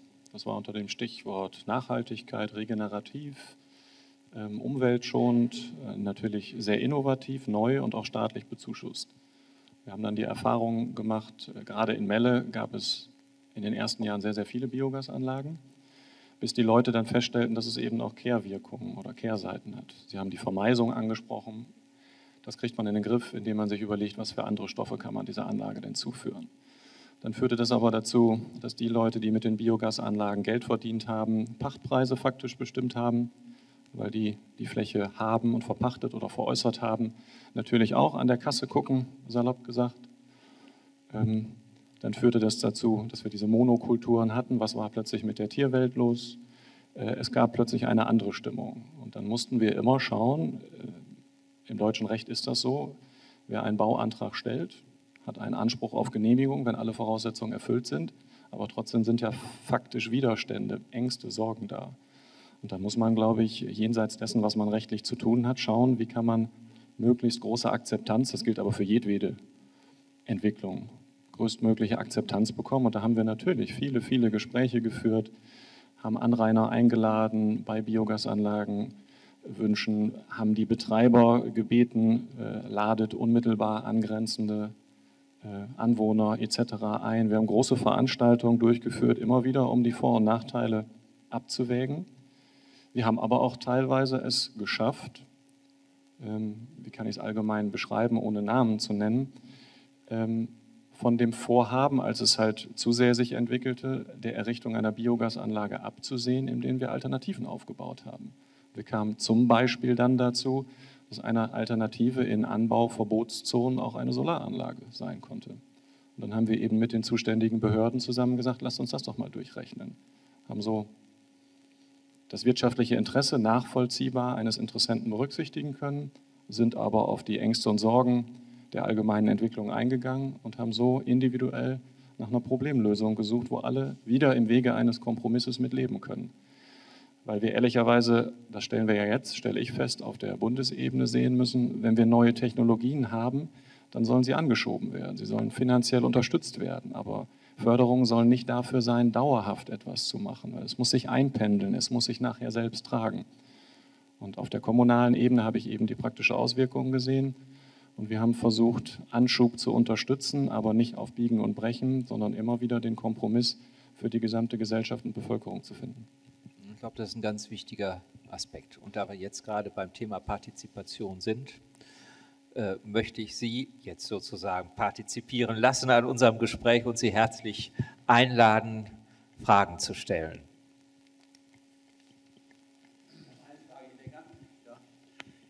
Sagen Sie vielleicht ganz kurz, mein Name ist Dieter Hübner, ich bin privat hier, bin aber beruflich damit früher beschäftigt gewesen. Das einzige Aussage kommt von Herrn Ostendorf, was er gesagt hat, weniger, Entschuldigung, weniger Tiere. Und mir fehlt dieser Begriff Massentierhaltung hier. Und ich glaube, das ist ein ganz, ganz wichtiger Punkt, der hier mit rein muss. Und das ist auch der Anfang des Übels, denn wir haben einen Schutz für Luft, Wasser und Boden. Und der wird meines Erachtens ge, äh, durchbrochen durch eben diese Massentierhaltung. Und Sie, Herr Bergheier, hatten vorhin gesagt, man muss die kleineren Betriebe etwas schützen. Ich komme aus einem und bin lange Zeit in einem Dorf in der Nürnberger Heide gewesen. Zugegeben, etwas magere Bösen. Da sind von 32 Höfen noch einer. Es gibt gar keine oder kaum noch kleinere Höfe. Ähm, jetzt zu der Situation selber. Ich komme jetzt aus einem Dorf, da ist ein Bioladen mit ungefähr 40 Hektar und allerdings auch einige Einkaufszentren. Ich habe mir mal die Mühe gemacht, am Samstag durchzurechnen, wie viel Prozent im Bioladen kaufen. Das waren unter 0,5 Prozent, rein massenmäßig. Das zur Akzeptanz, was Sie gerade sagten, Frau Klostermeier, die Bürger umzustimmen. Ich glaube nicht, dass eine Umstimmung in größeren Maßnahmen ohne Geld, ich sage bewusst Geld, äh, äh, möglich ist. Ich hoffe, dass äh, Herr Ossendorf als Mitglied des Bundestages richtig Druck dafür macht, dass man von der Massentierhaltung etwas abweicht und Herrn Bergheger hoffe ich auch, dass er im Zweifelsfalle sich für Ökologie und nicht für Ökonomie entscheidet. Und das ist also meine Perspektive, dass man endlich zu dem Ergebnis kommt, Subventionen, die sollen bleiben, aber für die mittleren und kleineren Betriebe und nicht für die Agrarindustrie. Da haben Sie natürlich jetzt gleich schon wieder noch ganz andere Probleme angesprochen. Also Sie sprechen Herrn Ostendorf und Herrn Berghäger direkt an. Möchten Sie das kurz kommentieren?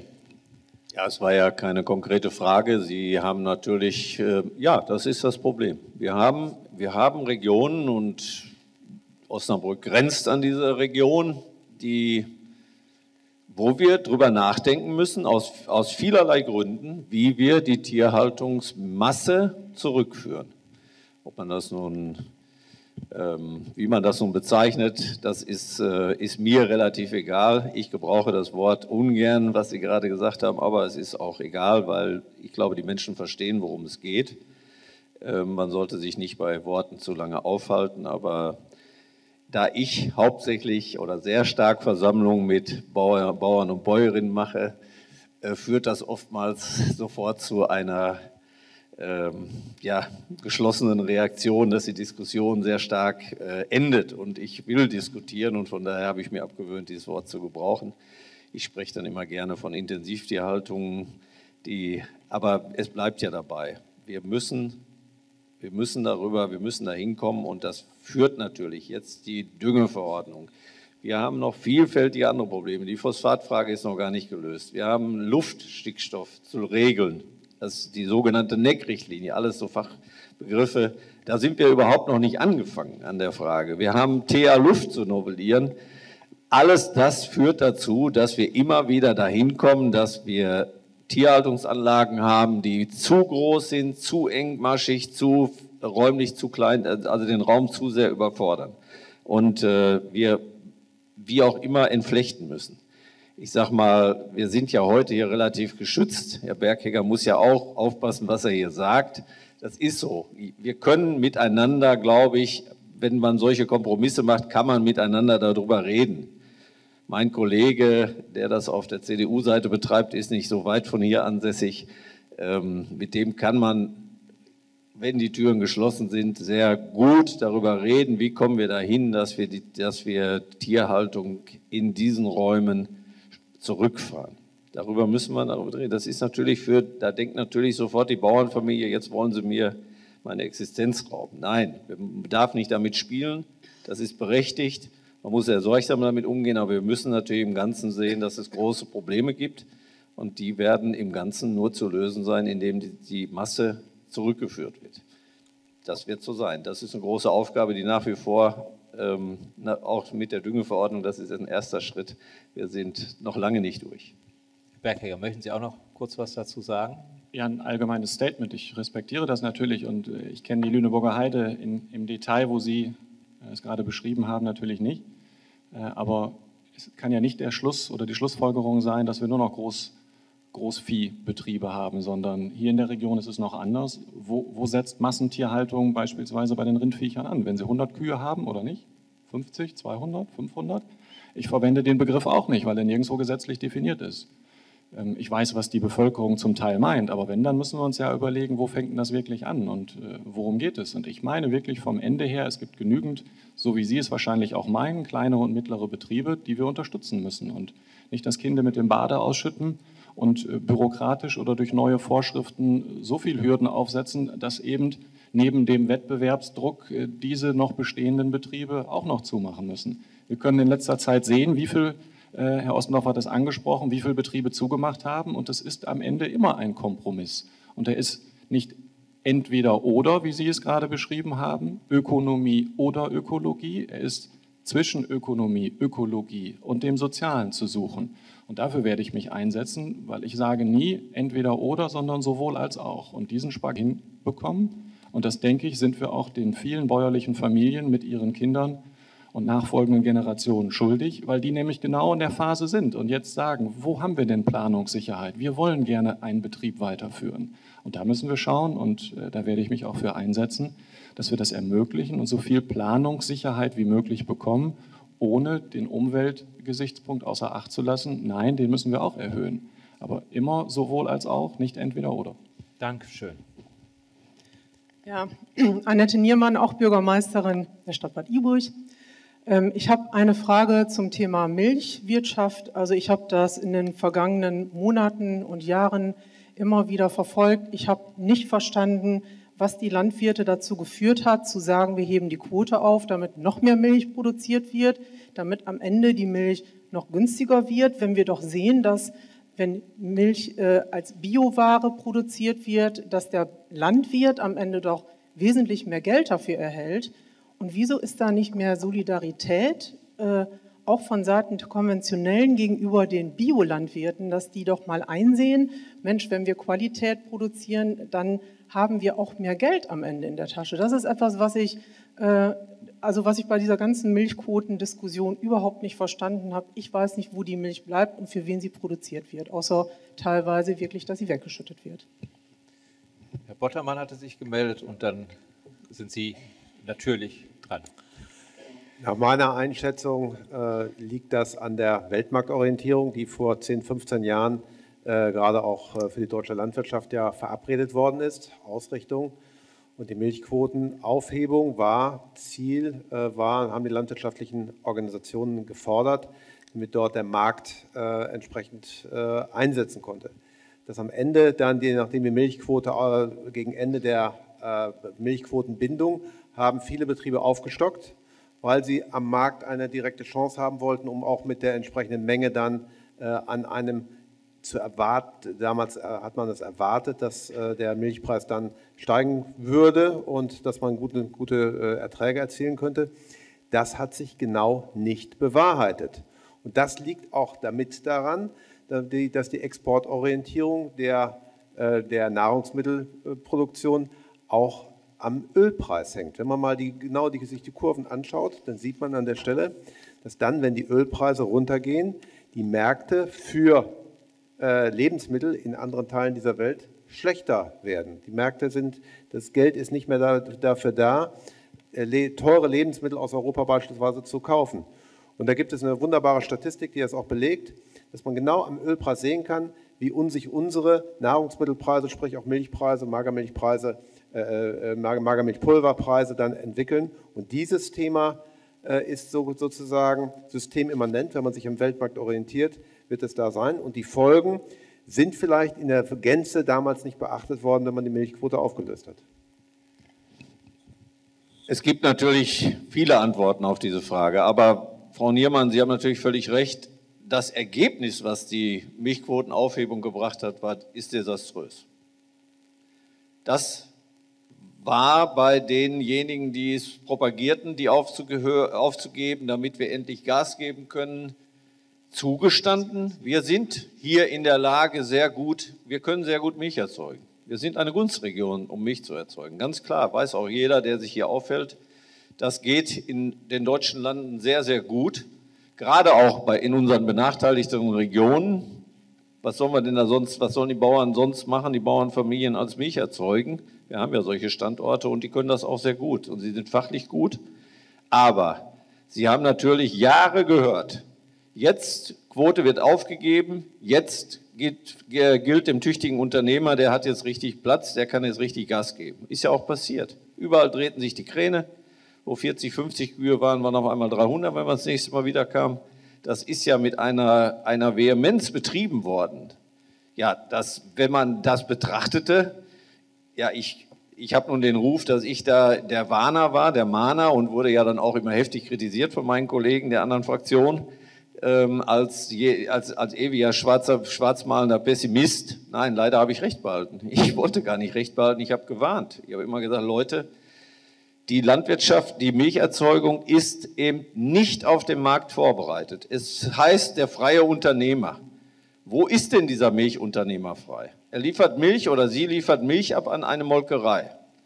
Die es hier tun, die wissen, das ist die allerschlechteste überhaupt, die es hier gibt. So, aber ich will jetzt keine Namen nennen, sonst stehe ich morgen damit, äh, muss ich mich morgen dafür verantworten. Aber das weiß auch jeder. Hier in der Region, die beherrschende Molkerei ist ähm, ist im Auszahlungspreis die allerschlechteste und ähm, sie haben ihre Milch, geben sie dort ab, sie sind überhaupt kein Marktakteur und kriegen dann irgendwas, was, wenn die Molkerei ihre Kosten runter hat, ihre 12, 13 Cent, die sie braucht, dann kriegen sie den Rest ausgezahlt. Und das ist dann, ist dann doch klar, wenn, sie, wenn, wenn der Ertrag 40 Cent ist für einen Liter Milch im Laden, 13 Cent runter, dann weißt du, was am Ende dabei übrig bleibt. So. Und ähm, das ist also, wie gesagt, das Bundeskartellamt hat ja eine Untersuchung gemacht.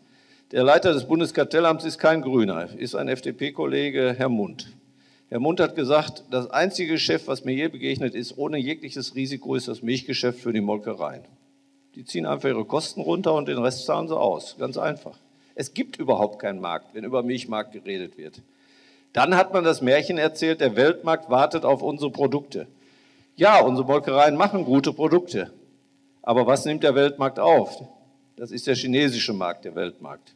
Der chinesische Markt kauft Magermilchpulver, kauft Vollmilchpulver und kauft keine, kein Käse und kauft keinen Joghurt. Das, was wir super gut können, das kauft er nicht und wo Wertschöpfung ist. Von daher konnte das nur krachend gegen die Wand gehen.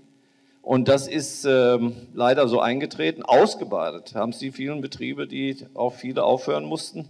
Die, es gibt manche, ich sehe ja auch viele Betriebe, morgen bin ich wieder auf einem die sagen, naja, gut, dass sie noch aufhören konnten, ich kann nicht mehr aufhören. Ich habe so viel Schulden, mich lässt keine Bank mehr aufhören. Das fällt dann letztlich irgendwann wieder in den kirchlichen Bereich zurück, den Menschen noch eine Hoffnung zu geben. Ich sage das, mein Patenjunge wurde konfirmiert. Es war grauenhaft für mich, meinen Freund und seine Familie zu erleben. Wir waren, er schaffte es, weil er morgens um halb vier in den Stall gegangen war, schaffte er es mit in die Kirche zu gehen. Das Mittagessen hat er auch noch geschafft und dann musste er wieder in den Stall. Ich habe noch schön mit Kaffee getrunken. Na gut, als Politiker kannst du das leisten. Jeden Tag, sagt er, jeden Tag. Wenn ich das noch fünf Jahre mache, bin ich im Grab. So, das ist die Situation auf den Betrieben, die weitermachen müssen, die gar nicht mehr aufhören können. Also es ist grauenhaft, es ist dramatisch. Wir müssen diesen Betrieben helfen, dass sie wieder Grund unter den Füßen kriegen, dass sie auch wieder ein menschliches Leben haben und wieder Anteil nehmen an dem, was gesellschaftlich heute unser, unsere Erwartung ist. Die äh, Äußerungen, mein Name ist Gerd Kuttmann, ich war auch lange Zeit im landwirtschaftlichen Bereich in Bonn tätig. Die Äußerungen zur Biogasproblematik haben mich noch nicht ganz befriedigt. Denn äh, die Biogas-OS ist ja entstanden mit dem EEG unter insbesondere grüner Mitwirkung. Und die Krux dabei ist, dass die damals zugesagten und auch heute noch zugesagten Förderungen äh, in die, die Einspeisevergütung ja über Jahrzehnte laufen. Ich glaube nicht ganz an die Feinsteuerung der Politik, denn das ein Ergebnis des EEG und der Biogas-Hos ist, insbesondere im Emsland, ich bin geboren in Meppen, äh, ist nämlich, dass äh, die Möglichkeiten, die mit dem Biogas entstandene Abwärme zu nutzen, nur gegeben ist, wenn sie Ställe bauen. Und deshalb sind Ställe und Ställe und Ställe gebaut worden im Emsland, die letzten Endes äh, äh mit der Hähnchenmast jetzt zusammenhängen. Und die Hähnchenmast ist eine die industrielle Tiererzeugung, die wir überhaupt kennen. Und das Problem ist, wir können in den nächsten Jahren nicht davon runter. Und ich habe mal hochgerechnet, etwa 150 Millionen Hähnchen allein im Emsland. Ja, wo gehen wir damit hin? Wir gehen mit den Edelteilen vielleicht noch in den Markt, aber mit den Abfällen gehen wir nach Afrika und zerstören dort Lebensgrundlagen. Ich glaube, dass wir die, die Feinsteuerung von Politik viel besser äh, äh beachten müssen und die Technikfolgenabwägung. Und ein Punkt ist, den möchte ich hier auch noch mal ganz deutlich machen. Was ist denn das Ergebnis der industriellen Landwirtschaft im Bereich der Geflügelhaltung? Das Ergebnis ist, dass wir im letzten Jahr eine desaströse Tierseuchensituation bekommen haben. Wir haben Millionen von Tieren geschlachtet, vernichtet, die zum Teil direkt vor der Vermarktung standen. Wir haben kleine Küken vermarktet oder äh, Putenküken, die nicht nach England exportiert können, wegen unserer Tierseuchensituation. Die haben über, über, über 600.000 sind, glaube ich, geschlachtet worden oder getötet worden. Das sind äh, Technikfolgen, die wir nicht beobachten. Und letzten Endes hängt es auch damit zusammen, dass wir eine sogenannte Nicht-Impfpolitik betrieben haben. Weshalb machen wir Nicht-Impfpolitik? Weil wir in Drittländer exportieren wollen, weil sonst die Drittländer uns die Tiere nicht abnehmen, weil wir nicht zwischen dem Impfvirus und dem äh, pathogenen Virus unterscheiden können. Das sind Folgen, die wir letzten Endes stärker noch beobachten können. Und ich halte es für absolut wichtig, dass wir in dieser Situation im Bereich der tierischen Produktion auch die Frage der äh, Tötungspolitik und der Keulungspolitik auf die, äh, auf die Agenda setzen, denn wir haben mit anderen Tierseuchen möglicherweise Probleme. Wir wissen nicht, wie das, ist mit, wie, wie das ist mit der afrikanischen Schweinepest, die wir ja mittlerweile in Polen schon haben, die letzten uns daran hindert, in die Drittmärkte reinzugehen. Die Russen begründen damit ihre Blockadepolitik. Also ich denke, wir müssen viel mehr darauf achten, wie stark wir letzten Endes mit unseren Maßnahmen in, äh, in Abfolgen äh, eingreifen. Dankeschön. Ganz kurz noch eine Anmerkung von der Regie. Also Sie müssen, wenn Sie natürlich noch einen Zweit- oder Dritttermin heute Abend haben, dann ist das natürlich die eine Sache. Aber wenn Sie sich noch ein bisschen mit Flüssigem stärken möchten, das gibt es gleich. Also sagen wir mal so, in einer Viertelstunde bekommen Sie auch was Leckeres zu trinken. Hat mir gerade Herr Dr. Bottermann gesagt. Ähm, ich würde jetzt Folgendes vorschlagen. Das war jetzt ein Statement. Ich habe eine Bitte. Wenn Sie Fragen haben, die relativ kurz und knackig zu stellen, damit hier vorne noch auch ein bisschen Gespräch laufen kann. Ähm, Ihre Beiträge, hohes fachliches Niveau, ist klasse. Ich habe heute Abend unheimlich viel, viel gelernt. Also das ist Fortbildung auf höchstem Niveau hier in dem Bereich. Vielen Dank. Aber vielleicht kurz die Fragen stellen einfach und dann vielleicht auch sagen, an wen. Danke. Ich würde jetzt noch zwei weitere Fragen einfach nehmen und dann. Ja, Johannes Melter. Äh, meine Frage geht an Frau Dr. Klostermeier. Die Kirchen verfügen ja über beide Kirchen oder alle Kirchen über relativ viele Flächen, die überwiegend landwirtschaftlich genutzt werden, zum Teil sehr konventionell genutzt werden. Äh, meine Frage, sehen Sie da Möglichkeiten, dass auf diesen Flächen auch etwas hinsichtlich Nachhaltigkeit passiert?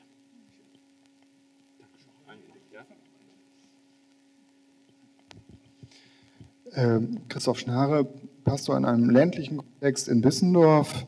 Ich möchte gerne noch einmal anschließen an das, was Herrn Ostendorf äh, gesagt hat. Ich bin dort in der Gemeinde seit über 20 Jahren und ich kann das nur bestätigen, was Sie gesagt haben. Äh, die ständige Intensivierung der Landwirtschaft, was das mit den Landwirtsfamilien gemacht hat in dieser Zeit. Als ich vor 20 Jahren da begonnen habe, hatten wir noch bestimmt 20 Familien, die in der Landwirtschaft arbeiteten, von der Landwirtschaft lebten Inzwischen sind es noch vielleicht vier, fünf, die keinen Nachwuchs finden, weil die eigenen Kinder sehen, was diese Art von Landwirtschaft mit dem eigenen Vater macht und abgelöst werden durch Beteiligungsgesellschaften, die natürlich ein ganz anderes Verhältnis haben zu dem Land. Ja, da verändert sich auch im Bewusstsein natürlich dadurch ganz viel. Was meines Erachtens fehlt, ist tatsächlich eine Wertedebatte. Vor, in den 60er Jahren haben wir noch ungefähr 40 Prozent ausgegeben für Ernährung. Heute liegt das unter 10 Prozent. Diese Wertedebatte muss sicherlich von allen beteiligten Akteuren geführt werden. Wir versuchen das vor Ort auch als Kirche anzustoßen. Das fängt an, wie Frau Dr. Klostermeier gesagt hat, im Kindergarten, geht natürlich weiter, zum Beispiel bis hin zum Erntedank-Gottesdienst, an dem wir unsere Landwirte beteiligen, die das auch nutzen können als Forum, ihre Sicht der Dinge dort darzustellen. Meine Frage, kurz und knackig, ist, ja, das, der Hintergrund ist schon wichtig. Die Politik muss doch ein Angebot machen. Wie soll die Brücke aussehen, über die auch die Vielzahl der konventionellen Betriebe, die wir ja nach wie vor haben, gehen kann in Richtung zu einer Extensivierung der Landwirtschaft, um ja, wieder leben zu können als Landwirt, auch als Familienbetrieb, ein menschenwürdiges Leben führen zu können, aber auch sozusagen die Natur intakt zu halten. Vom Handel werden wir das sicherlich nicht erwarten können. Also was hat die, welche Fantasien hat die Politik da? Wie soll das gehen? Okay, danke schön. Ich würde sagen, Frau Dr. Klostermeier, äh, ja, machen Sie noch, das machen wir in der nächsten Runde. Noch eine? Äh, ich wollte zu sprechen kommen auf Sie, Herr Ostendorf. Ich war ein bisschen verwundert darüber, dass Sie Bitte? Achso, Name. Wolfgang Seifert. Ich mir mal hin, nicht? Wolfgang Seifert heiße ich. Ich bin tätig an der Hochschule Osnabrück. Ostendorf, Sie haben das Ziel 20 Prozent Ökobetriebe genannt. Das Ziel kenne ich. Das ist zunächst mal von heute aus anspruchsvoll. Ich halte es auf Dauer für ungenügend nach allem, was Sie geschildert haben. Sie schildern, dass nicht äh, ökologischer Landbau eine dauerhafte Verschlechterung der Böden bringt. Wir haben gerade massenhaft Belege dafür gehört, dass der nicht ökologische, der konventionelle Landbau zum Beispiel ein Armutsgenerator ersten Ranges ist. Er verarmt die Böden, er verarmt die, Land, äh, er verarmt die Artenvielfalt und er verarmt zum Beispiel auch die Bauern. Und dann haben wir das Problem gehabt, dass wir im Augenblick deswegen die, äh, die, ökologische Landwirtschaft vielleicht nicht so hoch kriegen können, weil die Preise so hoch sind. Da war also viermal so viel das Fleisch. Gut, das können wir ein bisschen in den Griff kriegen, wenn wir nur die Hälfte essen. Dann ist es immer noch doppelt so teuer, wenn wir die Fleischversorgung auf Bio machen. Und dann kommt wieder das übliche Denken. Ich meine, mir ist heute viel zu kurz gekommen auf Basis ethischer Prinzipien. Das wesentliche ethische Prinzip, nach dem bei uns gewirtschaftet wird, ist das Profitprinzip. Und das heißt auch das Kostensparprinzip, das zum Beispiel auch die Konsumenten machen. Die wollen ihren Konsum maximieren. Und dann tritt sofort die Frage auf, kann ich mir das leisten? Natürlich könnten sie sich das leisten. Ich kenne Helden, die leben von 500 Euro im Monat und ernähren sich biologisch. Aber die steigen dann eben aus dem Konsumismus aus. Die steigen auch aus, sagen wir mal, dieser ganzen Kostendenke aus. Die leben dann nicht mehr Profit maximieren und nicht mehr nach dem Preismechanismus. Und ich finde, da muss viel mehr getan werden. Und wir müssen das Ziel kriegen, mehr als 20 Prozent, deutlich mehr, denn das heißt, dass 80 Prozent konventionell sind. Das ist kein dauerhaftes, nachhaltiges Ziel. Das ist jetzt eine Forderung. Wir müssen also die Armut bekämpfen. Und wie geht das? Wie können wir dafür sorgen?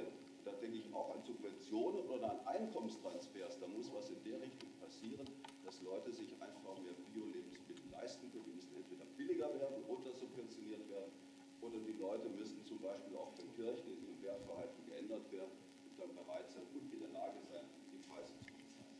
Dankeschön. So, ich würde jetzt sagen, Frau Dr. Klostermeier, da war konkret die Frage nach, was, was macht Kirche eigentlich mit den Flächen? Das könnten Sie vielleicht gleich noch kurz ergänzen und dann schauen wir noch mal eben halt, äh, ob sowas jetzt dieser Übergang subventioniert werden kann. Die Flächen, die die Kirche besitzt, sind konkret die Flächen, die die Gemeinden besitzen.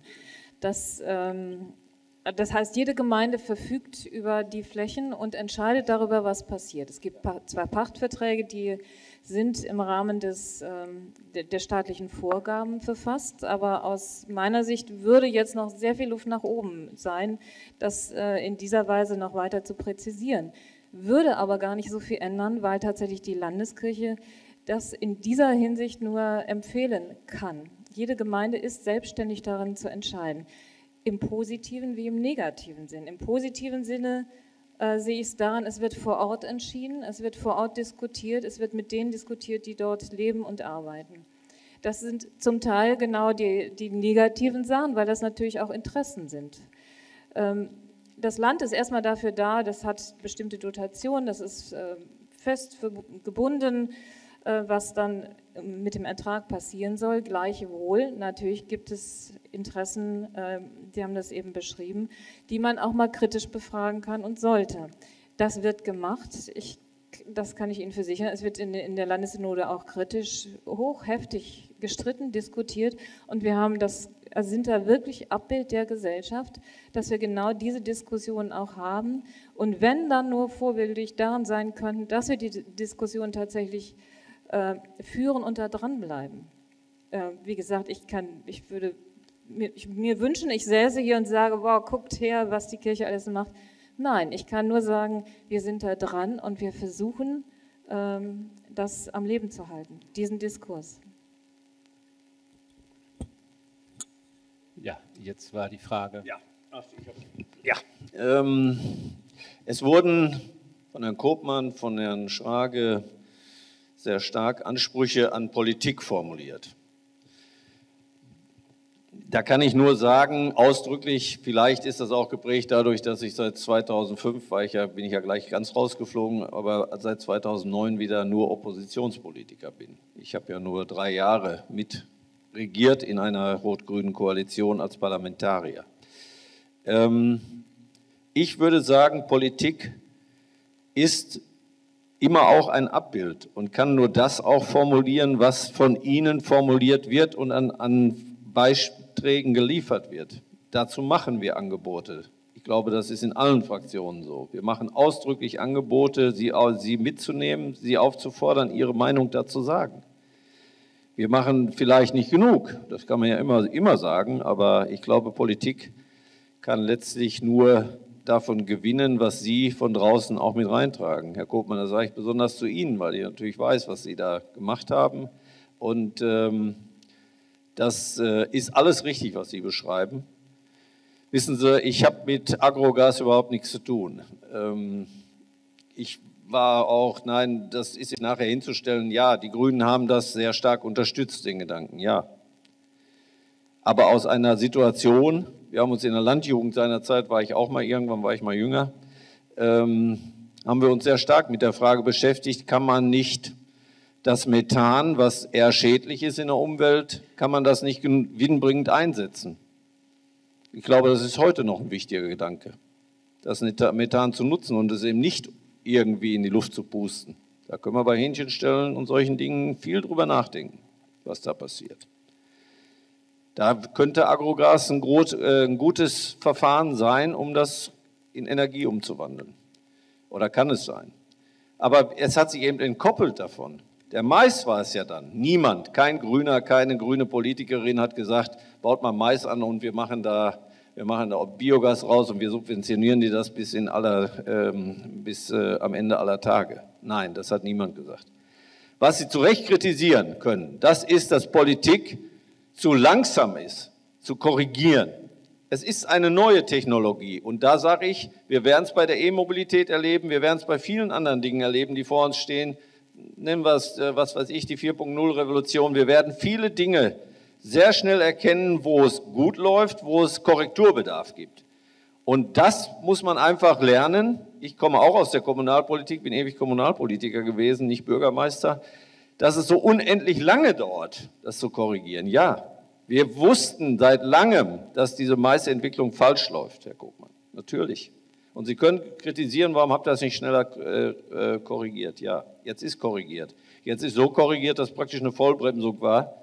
Wer kann denn heute noch, wer kann denn heute noch Agrogas darstellen und sich da für die nächsten Jahrzehnte einen Gewinn äh, errechnen? Geht ja nicht mehr. Wir haben es ja praktisch gegen Null gefahren. Das ist ja jetzt so. Ist das jetzt sinnvoll? Muss man nicht dann gucken, was ist an dieser Technologie, an der Entwicklung gut, was ist falsch gelaufen, mit allen Nebeneffekten? Da muss man verlangen von Politik, dass sie schneller ist. Ja, gebe ich gerne zu.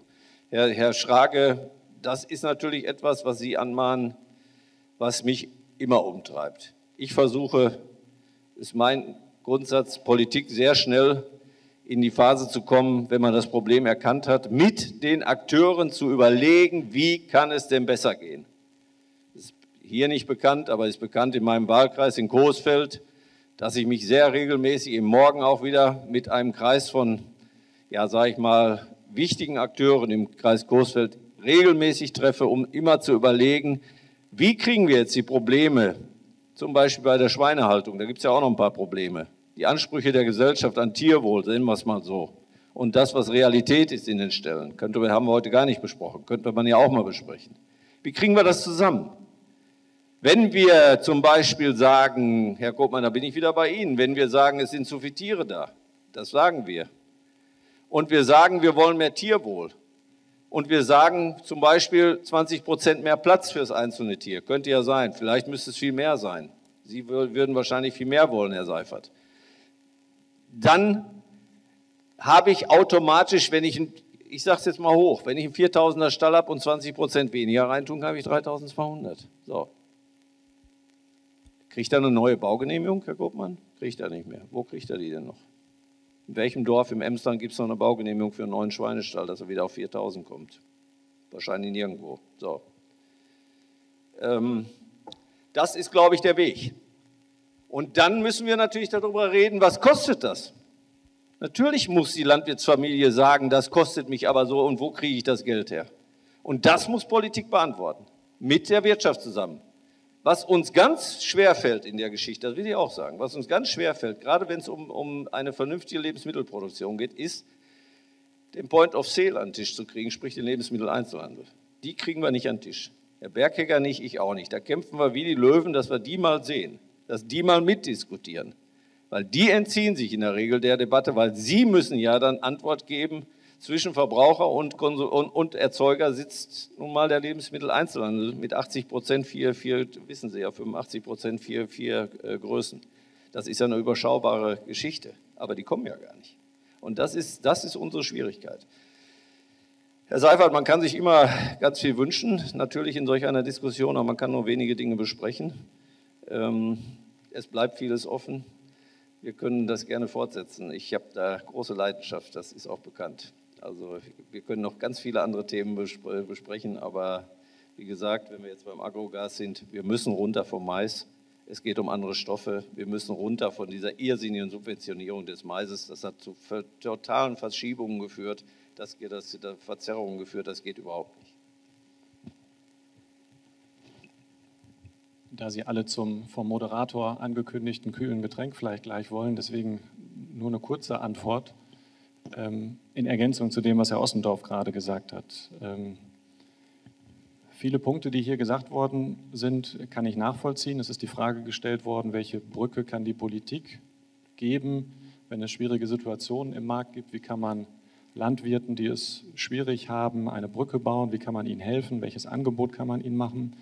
Ich würde immer sagen, es kommt darauf an. Probleme konkreter Art bei Baugenehmigungen etc., bei konkreten Fragen müssen wir vor Ort lösen.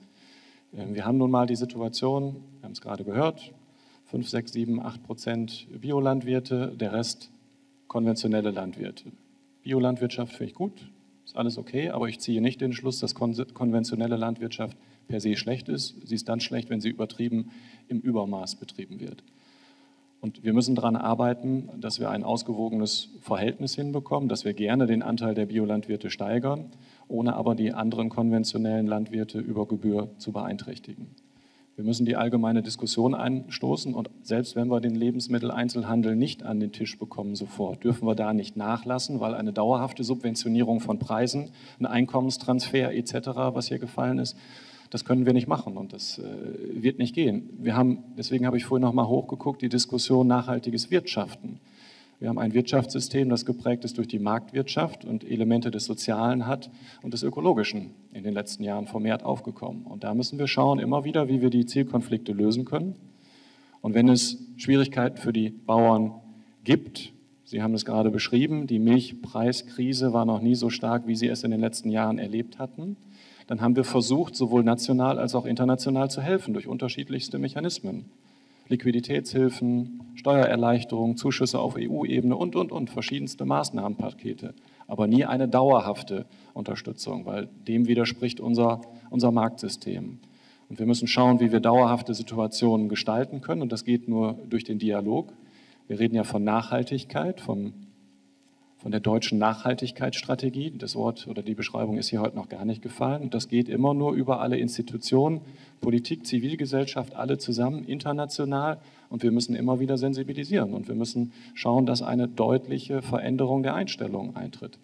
Und wenn dann, das sei mir vielleicht noch erlaubt, äh, wenn dann führende, frisch gewählte Präsidenten großer Länder Klimawandel in Frage stellen, dass dieser hausgemacht ist, dann macht mir das Sorge. Und da müssen wir dran arbeiten und schauen, wie wir international dran arbeiten. Wir müssen Vorbild sein.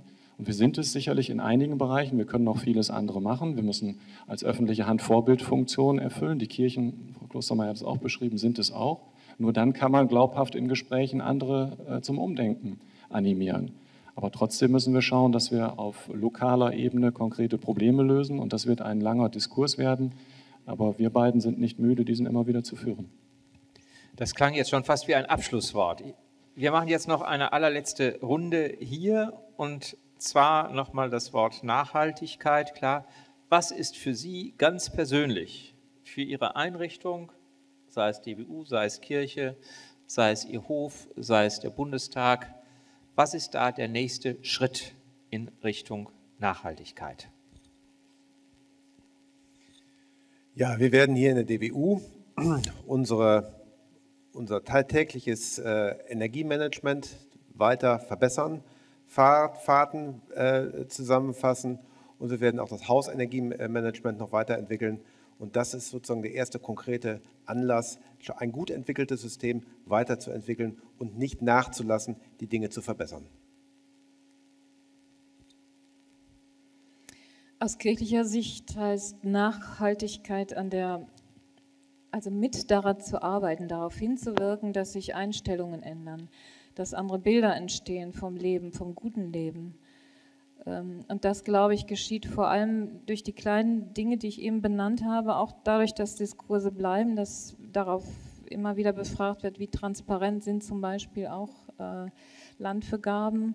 Sehr konkret, also um das nochmal zu den, zu den Pachtverträgen zu sagen, also Transparenz ist wichtig.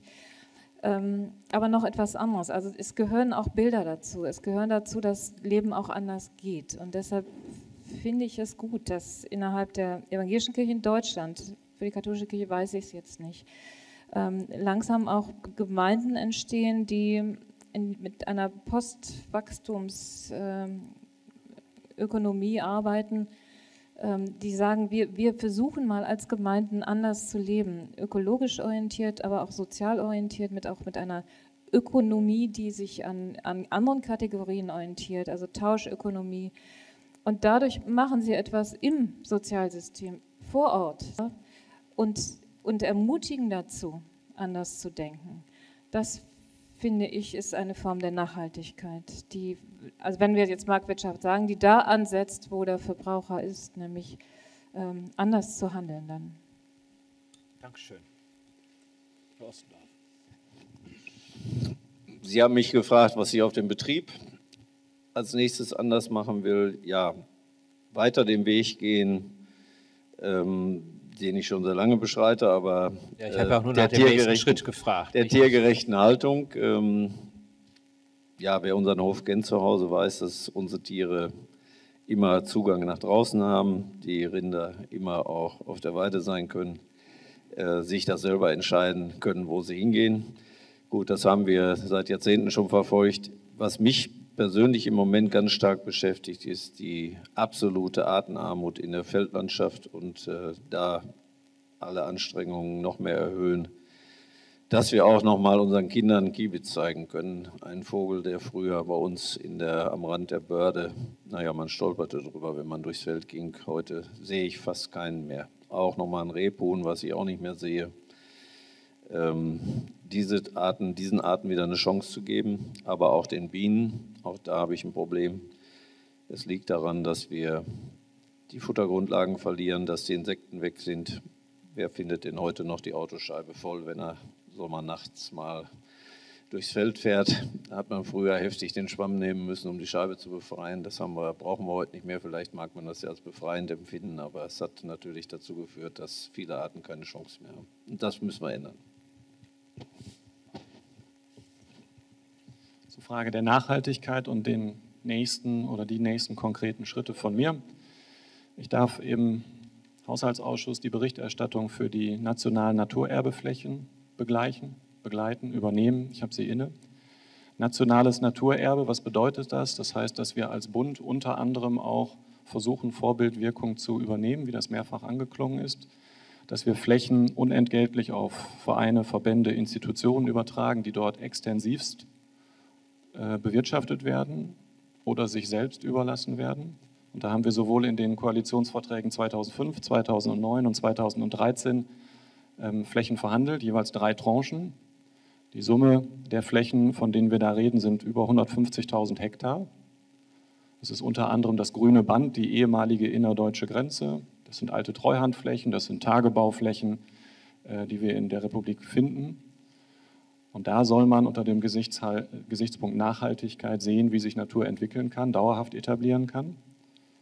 Die ersten beiden Tranchen sind nahezu übertragen und in Bearbeitung, Ausnahmen noch.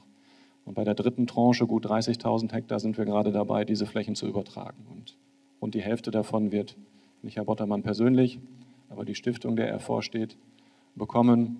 Und da freue ich mich drauf, dass wir hier den nächsten Schritt gehen können, weil das ist, glaube ich, ein sichtbares Zeichen für nachhaltiges Wirtschaften. Und so schließt sich vielleicht auch der Kreis zum Gastgeber. Ja, ganz herzlichen Dank, Herr Dr. Bottermann, Frau Klostermeier, Herr Ostendorf, Herr Berghegger. Ganz herzlichen Dank Ihnen für das wirklich sehr engagierte Mitreden. Wir haben, glaube ich, heute eher Tiefenbohrungen gemacht. Wir sind nicht in die ganz große Fläche gegangen, aber wir sehen, das ist meine persönliche Meinung, Ethik ist immer konkret. Ja, man kann sehr viel wunderbar reden über ethische Herausforderungen und Kriterien, aber letztlich muss es dann immer auf die konkrete Wirklichkeit heruntergebrochen werden. Und für diese Konkretion möchte ich Ihnen allen ganz herzlich danken.